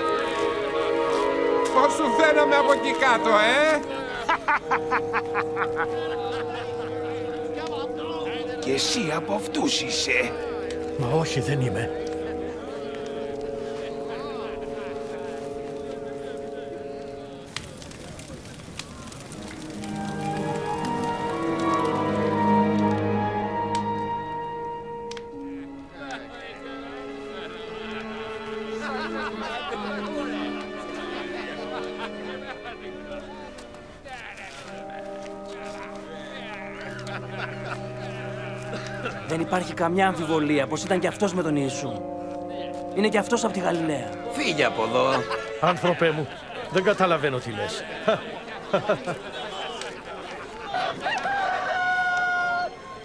Ο Ιησούς έστρεψε το βλέμμα του στον Πέτρο.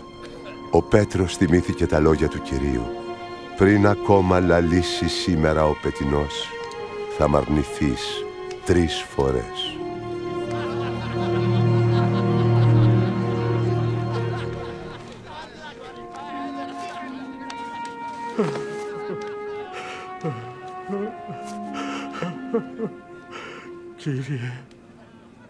Συγχώραμε.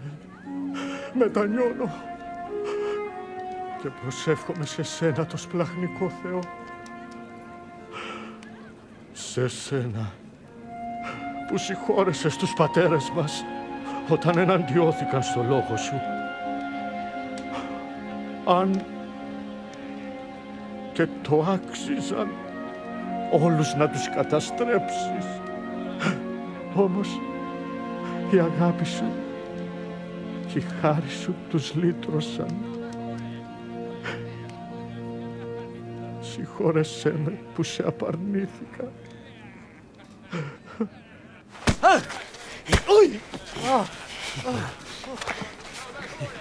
Ποιος σε χτύπησε; Προφήτεψε. Ποιος θα σε χτυπήσει; Σταματήστε. Σταματήστε, είπα. Φέρτε τον στο συνέδριο. Άντε.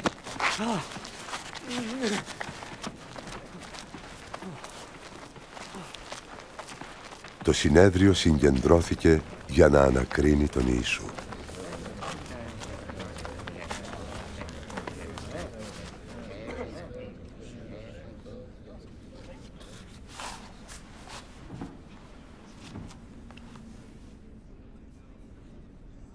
Πες μας, ώστε εσύ είσαι ο Μεσσίας.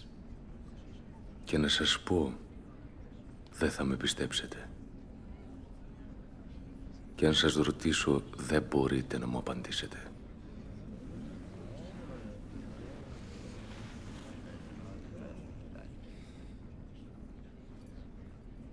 Αλλά από τώρα ο Υιός του ανθρώπου θα κάθεται στα δεξιά του παντοδύναμου Θεού. Εσύ λοιπόν είσαι ο γιος του Θεού; Εσείς λέτε ότι είμαι. Μα τον ακούσατε Τον ακούσατε τι λέει. Ποιος του δίνει το δικαίωμα να μιλάει έτσι. Είναι ένοχος. Λάσπος. Μιλάει έτσι. Ένοχος. Ναι, το ακούσαμε τι είπε με τα ίδια μας τα αυτιά.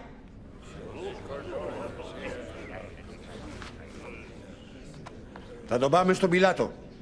Ναι, ναι, πάρτε τον. Ναι, ναι, πάρτε τον. Πάρτε τον δικάσει.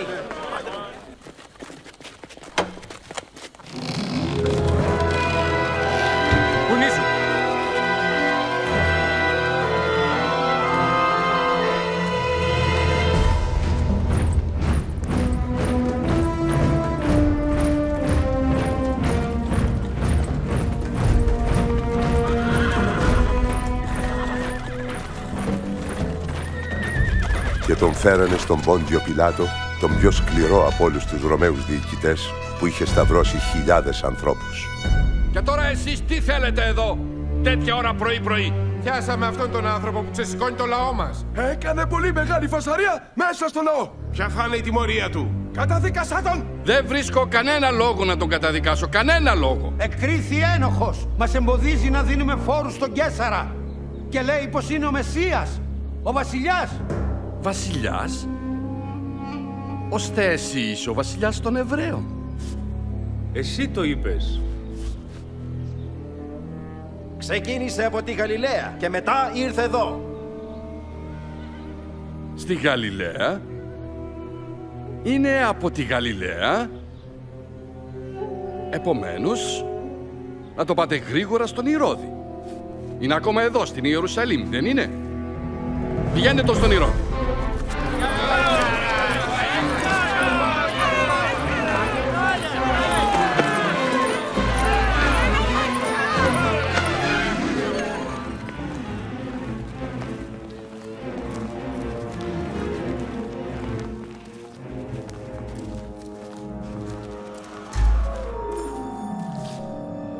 Ποιος είπες πως είσαι;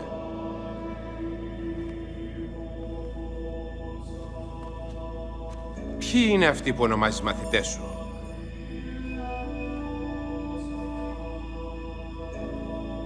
Πολλοί διαδίδουν ότι κάνεις θαύματα.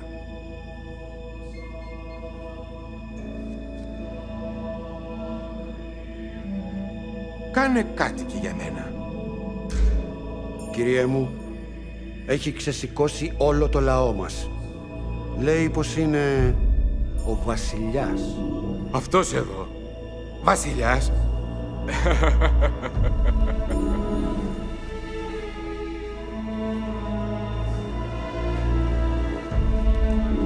Μεγαλειότητα.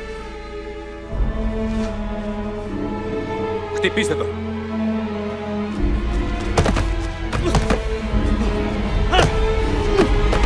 Πηγαίνετε εδώ στον Πιλάτο. Εδώ είναι η επαρχία του.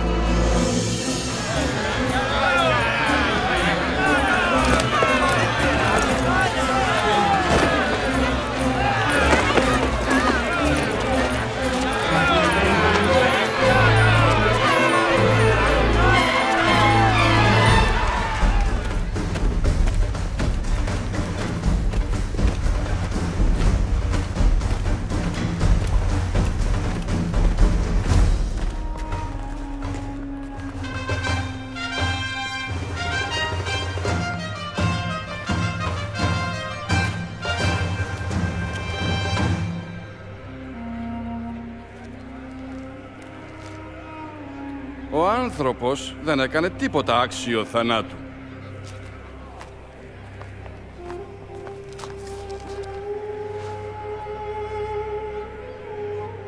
Θα τον μαστιγώσω λοιπόν και θα τον απολύσω.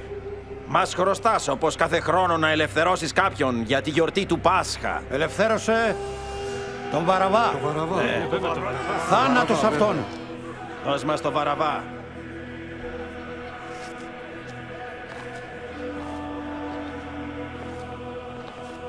Σταύρωσέ τον!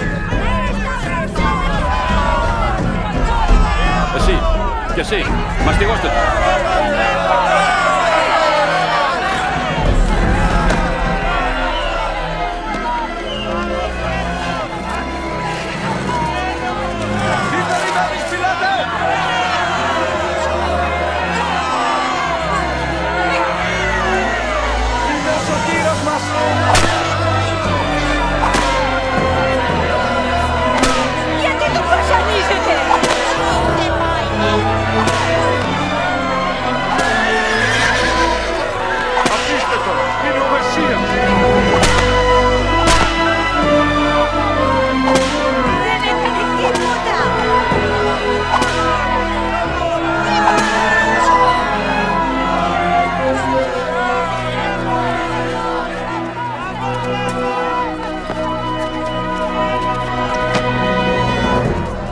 Σηκώστε τον.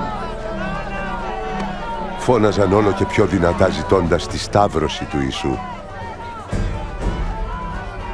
Έτσι ο Πιλάτος διάταξε την καταδίκη του. Ελευθέρωσε όπως το ζήτησαν τον Βαραβά, που ήταν επαναστάτης και φωνιάς και παρέδωσε τον Ιησού να σταυρωθεί.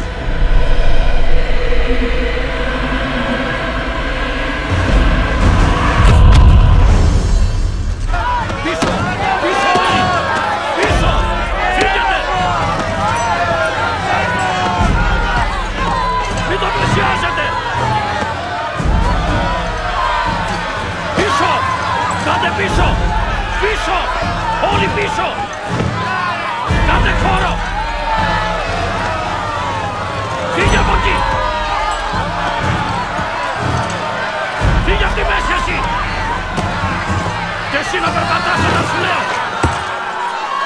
Σήκω πάνω! Σήκω!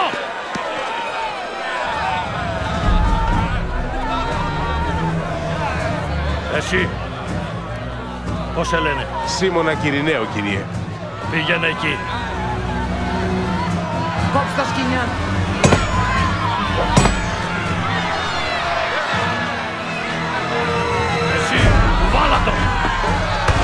Εμπρός κουδί σου! Πίσω! Πίσω! Αφήστε τον!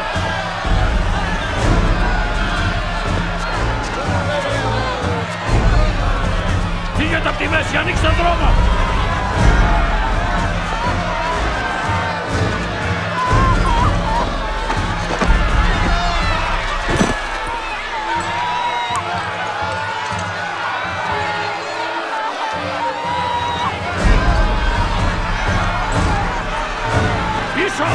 Πίσω!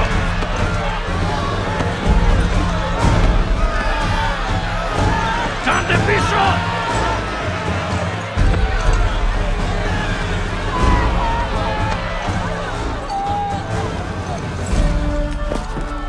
Για σένα, κύριε Κλέμε. Πιες λίγο. Πιες. Πιες, κύριε.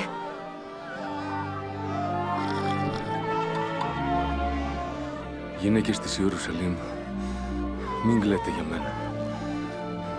Κλάψτε για σας και για τα παιδιά σας. Γιατί αν κάνουν όλα αυτά στο χλωρό δέντρο, τι θα συμβεί άραγε στο ξέρω. Ο Θεός να σε βοηθήσει. Θα προσευχόμαστε για σένα.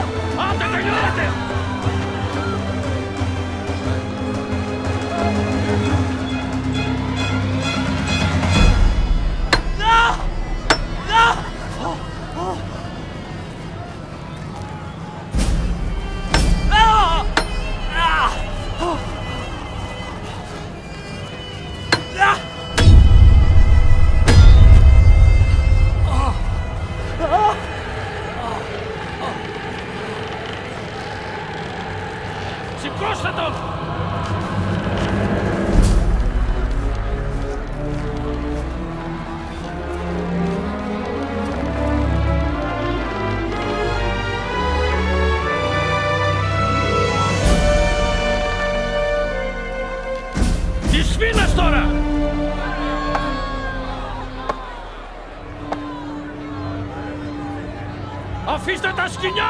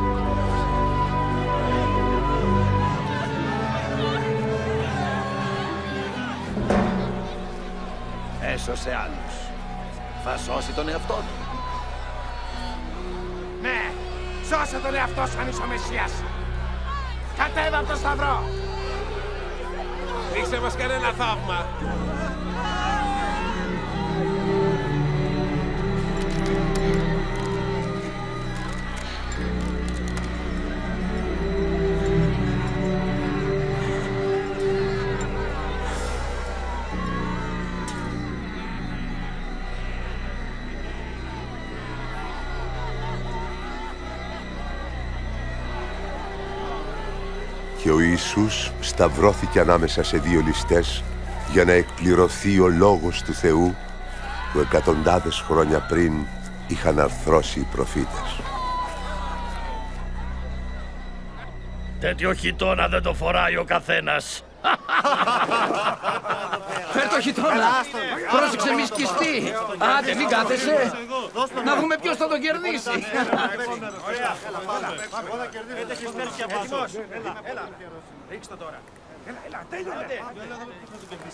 Είσαι πολύ τυχερός.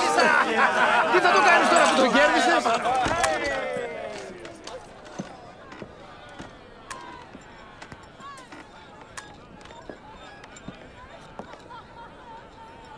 και πάνω από το κεφάλι του κάρφωσαν επιγραφή που έγραφε «Ο βασιλιάς των Ιουδαίων».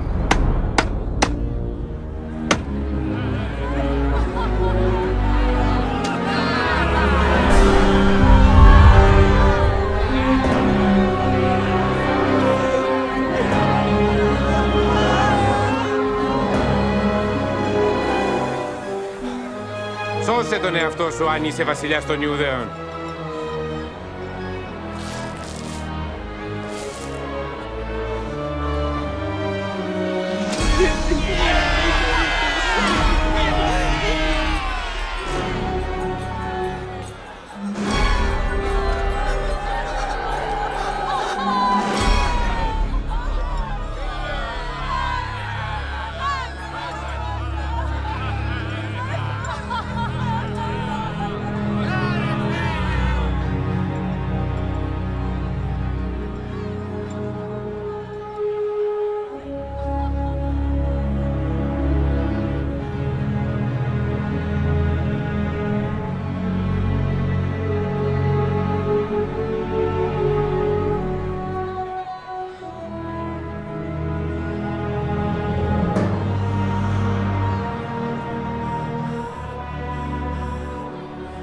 Είσαι εσύ ο Μεσσίας.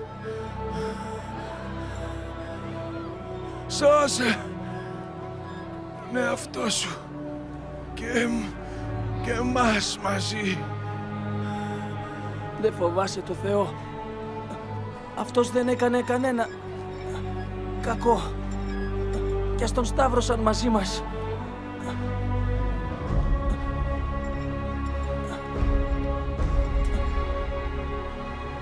Θυμήσου με, Κύριε, όταν έρθεις στη βασιλεία σου. Αλήθεια σου λέω. Σήμερα θα είσαι στον παράδεισο.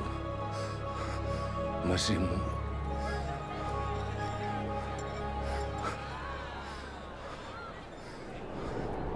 και ενώ ήταν κατά μεσήμερο, έπεσε σκοτάδι σε όλη τη γη μέχρι τις 3 το απόγευμα.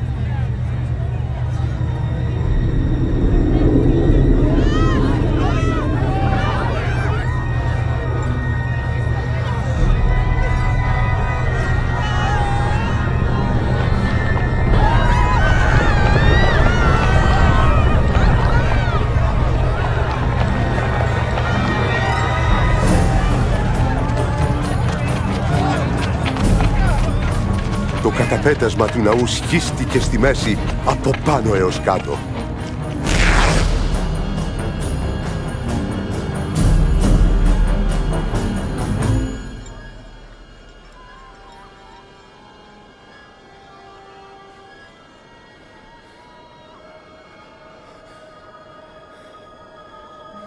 Πατέρα,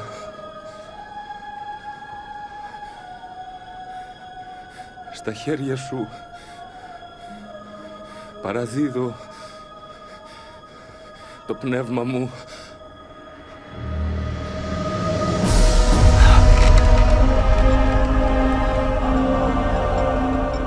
Όταν ο εκατόνταρχος είδε τι έγινε, δόξασε το Θεό. Ήψιστε Θεέ, αυτός ο άνθρωπος ήταν αθώος.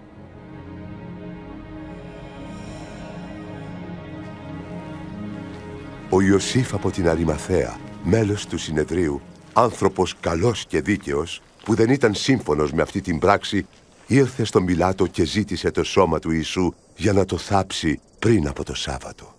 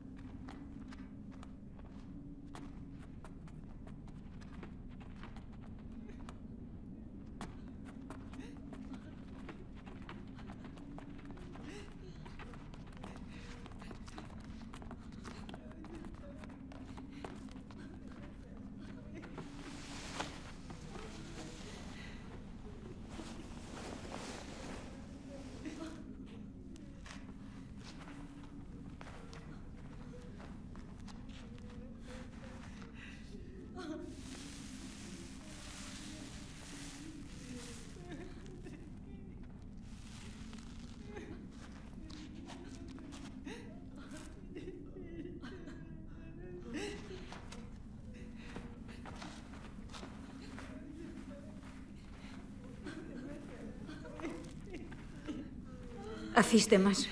Θέλουμε να δούμε την ταφή του Κυρίου μας. Όλοι είναι ευπρόσδεκτοι. Αλλά πάμε. Το Σάββατο πλησιάζει.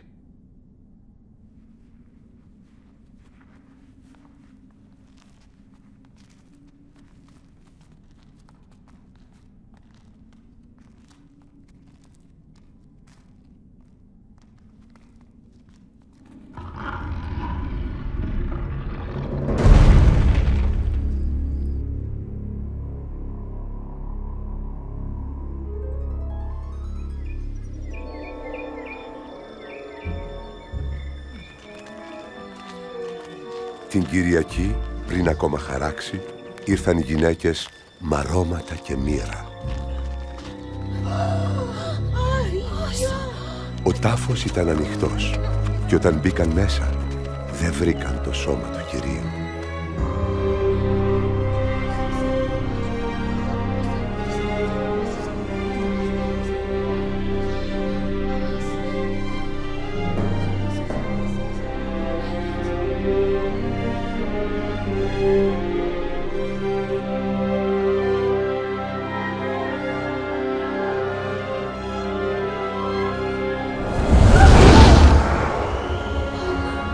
Ζητάτε τον ζωντανό ανάμεσα στους νεκρούς.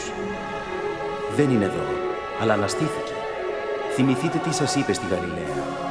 Ο Υιός του ανθρώπου θα παραδοθεί σε χέρια μαρτωλά.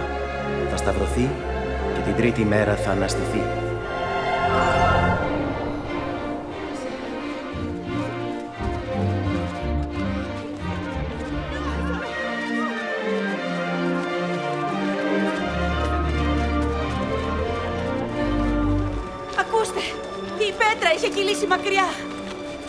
Μέσα.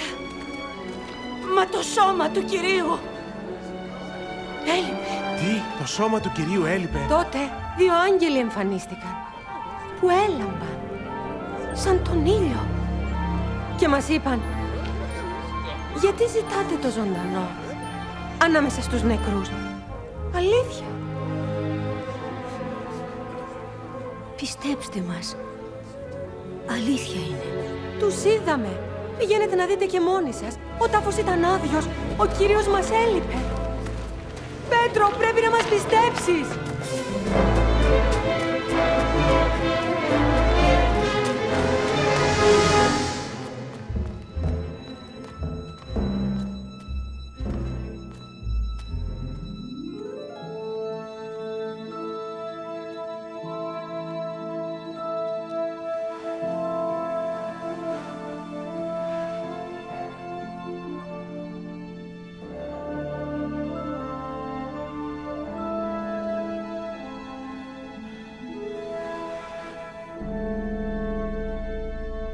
Ιησούς εμφανίστηκε σε δύο μαθητές του και εκείνοι ενθουσιασμένοι επέστρεψαν να βρουν τους άλλους.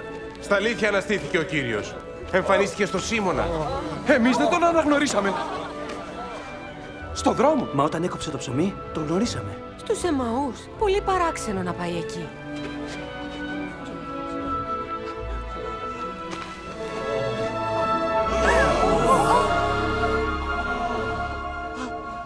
Ειρήνη σε εσάς.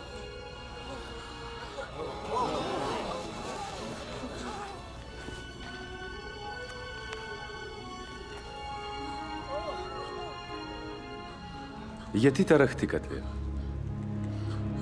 Γιατί σας βασανίζουν οι αμφιβολίες;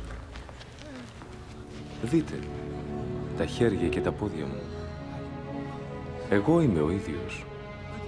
Αγγίξτε με και θα δείτε. Ένα φάντασμα δεν έχει σάρκα και οστά όπως εγώ. Αυτό ήταν που σας έλεγα όταν ήμουν ακόμα μαζί σας.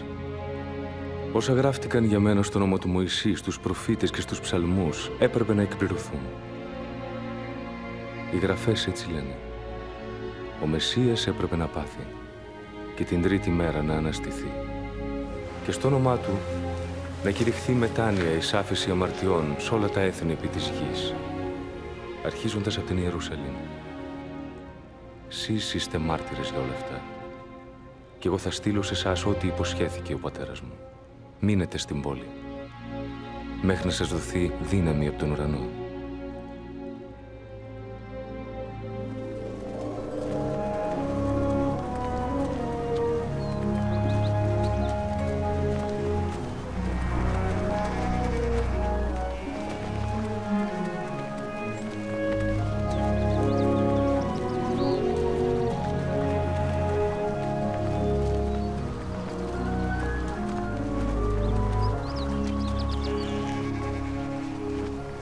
Θεός να είναι μαζί σας. Μου δόθηκε όλη η εξουσία στον ουρανό και στη γη. Πηγαίνετε λοιπόν και κάντε μαθητές μου όλα τα έθνη, βαπτίζοντας τους ανθρώπους στο όνομα του Πατρός και του Υιού και του Αγίου Πνεύματος. Και διδάξτε τους να τηρούν όλα όσα σας παρήγγειλα.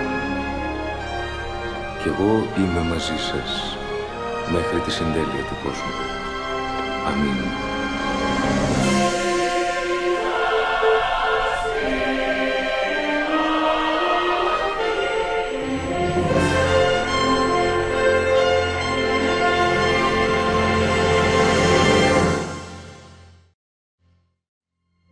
Πολλά χρόνια πριν, οι προφήτες έγραψαν ότι ο Θεός θα έστρενε το Μεσσία να σώσει τους αμαρτωλούς και να τους συμφιλιώσει με το Θεό.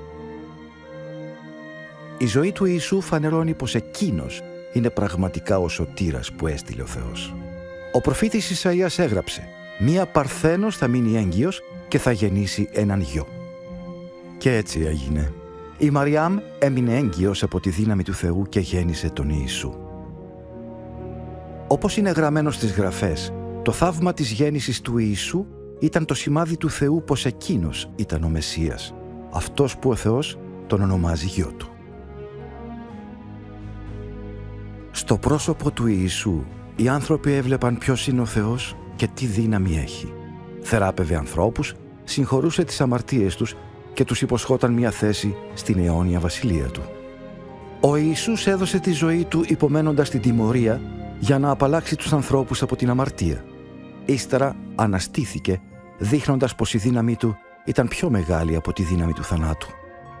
Ο Ιησούς, ο Μεσσίας, είχε πει «Έχω τη δύναμη να προσφέρω τη ζωή μου και να την πάρω πάλι πίσω».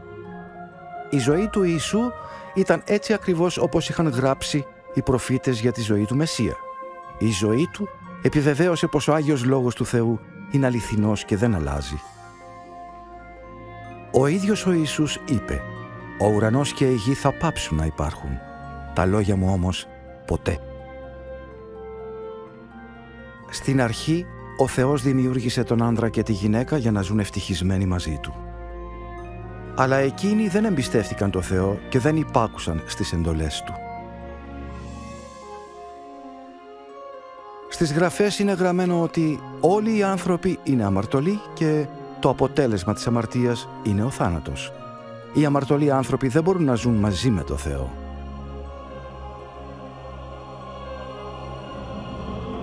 Όπως είχε στείλει ο Θεός ένα κρυάρι να πεθάνει στη θέση του γιου του Αβραάμ, έτσι έστειλε και τον Ιησού το Μεσσία να πεθάνει στη θέση όλων των ανθρώπων. Με τη ζωή του, το θάνατο και την Αναστασή του, έφερε και πάλι κοντά στο Θεό τους ανθρώπους που πιστεύουν σε Αυτόν. Γι' αυτό όσοι ακολουθούν τον Ιησού δεν θα τιμωρηθούν στην κόλαση, αλλά θα ζουν αιώνια μαζί με το Θεό στον Παράδεισο.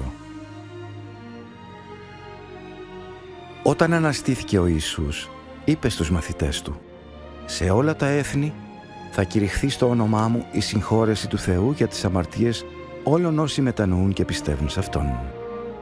Ο Ιησούς είπε ακόμη ότι θα έστελνε το Άγιο Πνεύμα του Θεού για να είναι με όσους τον αγαπούν, να τους δείχνει την αλήθεια και να τους δίνει τη δύναμη να ζουν όπως θέλει ο Θεός. Όταν μια αμαρτωλή γυναίκα μετάνιωσε για τις αμαρτίες της και ακολούθησε τον Ιησού, εκείνος της είπε «Οι αμαρτίες σου έχουν συγχωρεθεί. Η πίστη σου σε έσωσε». Ο Ιησούς είπε ότι όταν οι άνθρωποι τον αγαπούν, αυτό είναι ένα σημάδι ότι ο Θεός έχει συγχωρέσει τις αμαρτίες τους. Ο Ιησούς, ο Μεσσίας, κάλεσε τους ανθρώπους να τον ακολουθήσουν. Όταν ο ληστής επάνω στο σταυρό πίστεψε στον Ιησού και του ζήτησε να τον σώσει, ο Ιησούς του είπε «Από σήμερα θα είσαι μαζί μου στον Παράδεισο». Όποιος θέλει να ακολουθήσει τον Ιησού μπορεί να ξεκινήσει μια καινούρια ζωή μαζί του λέγοντας τα παρακάτω λόγια. «Θεέ μου, είσαι Άγιος και ένδοξος. Σε ευχαριστώ γιατί με αγαπάς. Λυπάμαι που δεν έζησα σύμφωνα με τις εντολές σου και αμάρτησα. Σε ευχαριστώ γιατί έστειλες τον Ιησού που πέθανε πάνω στο σταυρό για μας και μετά αναστήθηκε. Σε ευχαριστώ γιατί εκείνος υπέμεινε την τιμωρία για τις δικές μου αμαρτίες. Θέλω να ακολουθήσω το θέλημά σου και να δεχθώ τον Ιησού σαν σωτήρα και Κυριό μου. Σε ευχαριστώ που συγχωρείς τις αμαρτίες μου και που μου ανοίγεις το δρόμο για την αιώνια βασιλεία σου. Σου ζητώ να στείλεις το Άγιο Πνεύμα σου για να είναι μαζί μου και να μου δείχνει το δρόμο σου. Δώσε μου τη δύναμη να σ' αγαπώ με όλη μου την καρδιά και να ζω κατά το θέλημά σου. Μακάρι οι άνθρωποι σε όλο τον κόσμο να σε δοξάζουν. Αμήν.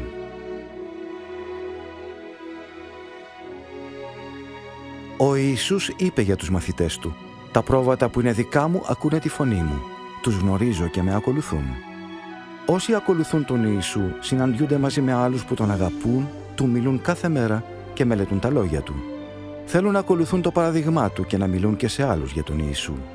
Ο Ιησούς τους δείχνει πώς να ζουν και τους δίνει δύναμη μέσα από το Πνεύμα του Θεού που ζει στις καρδιές τους.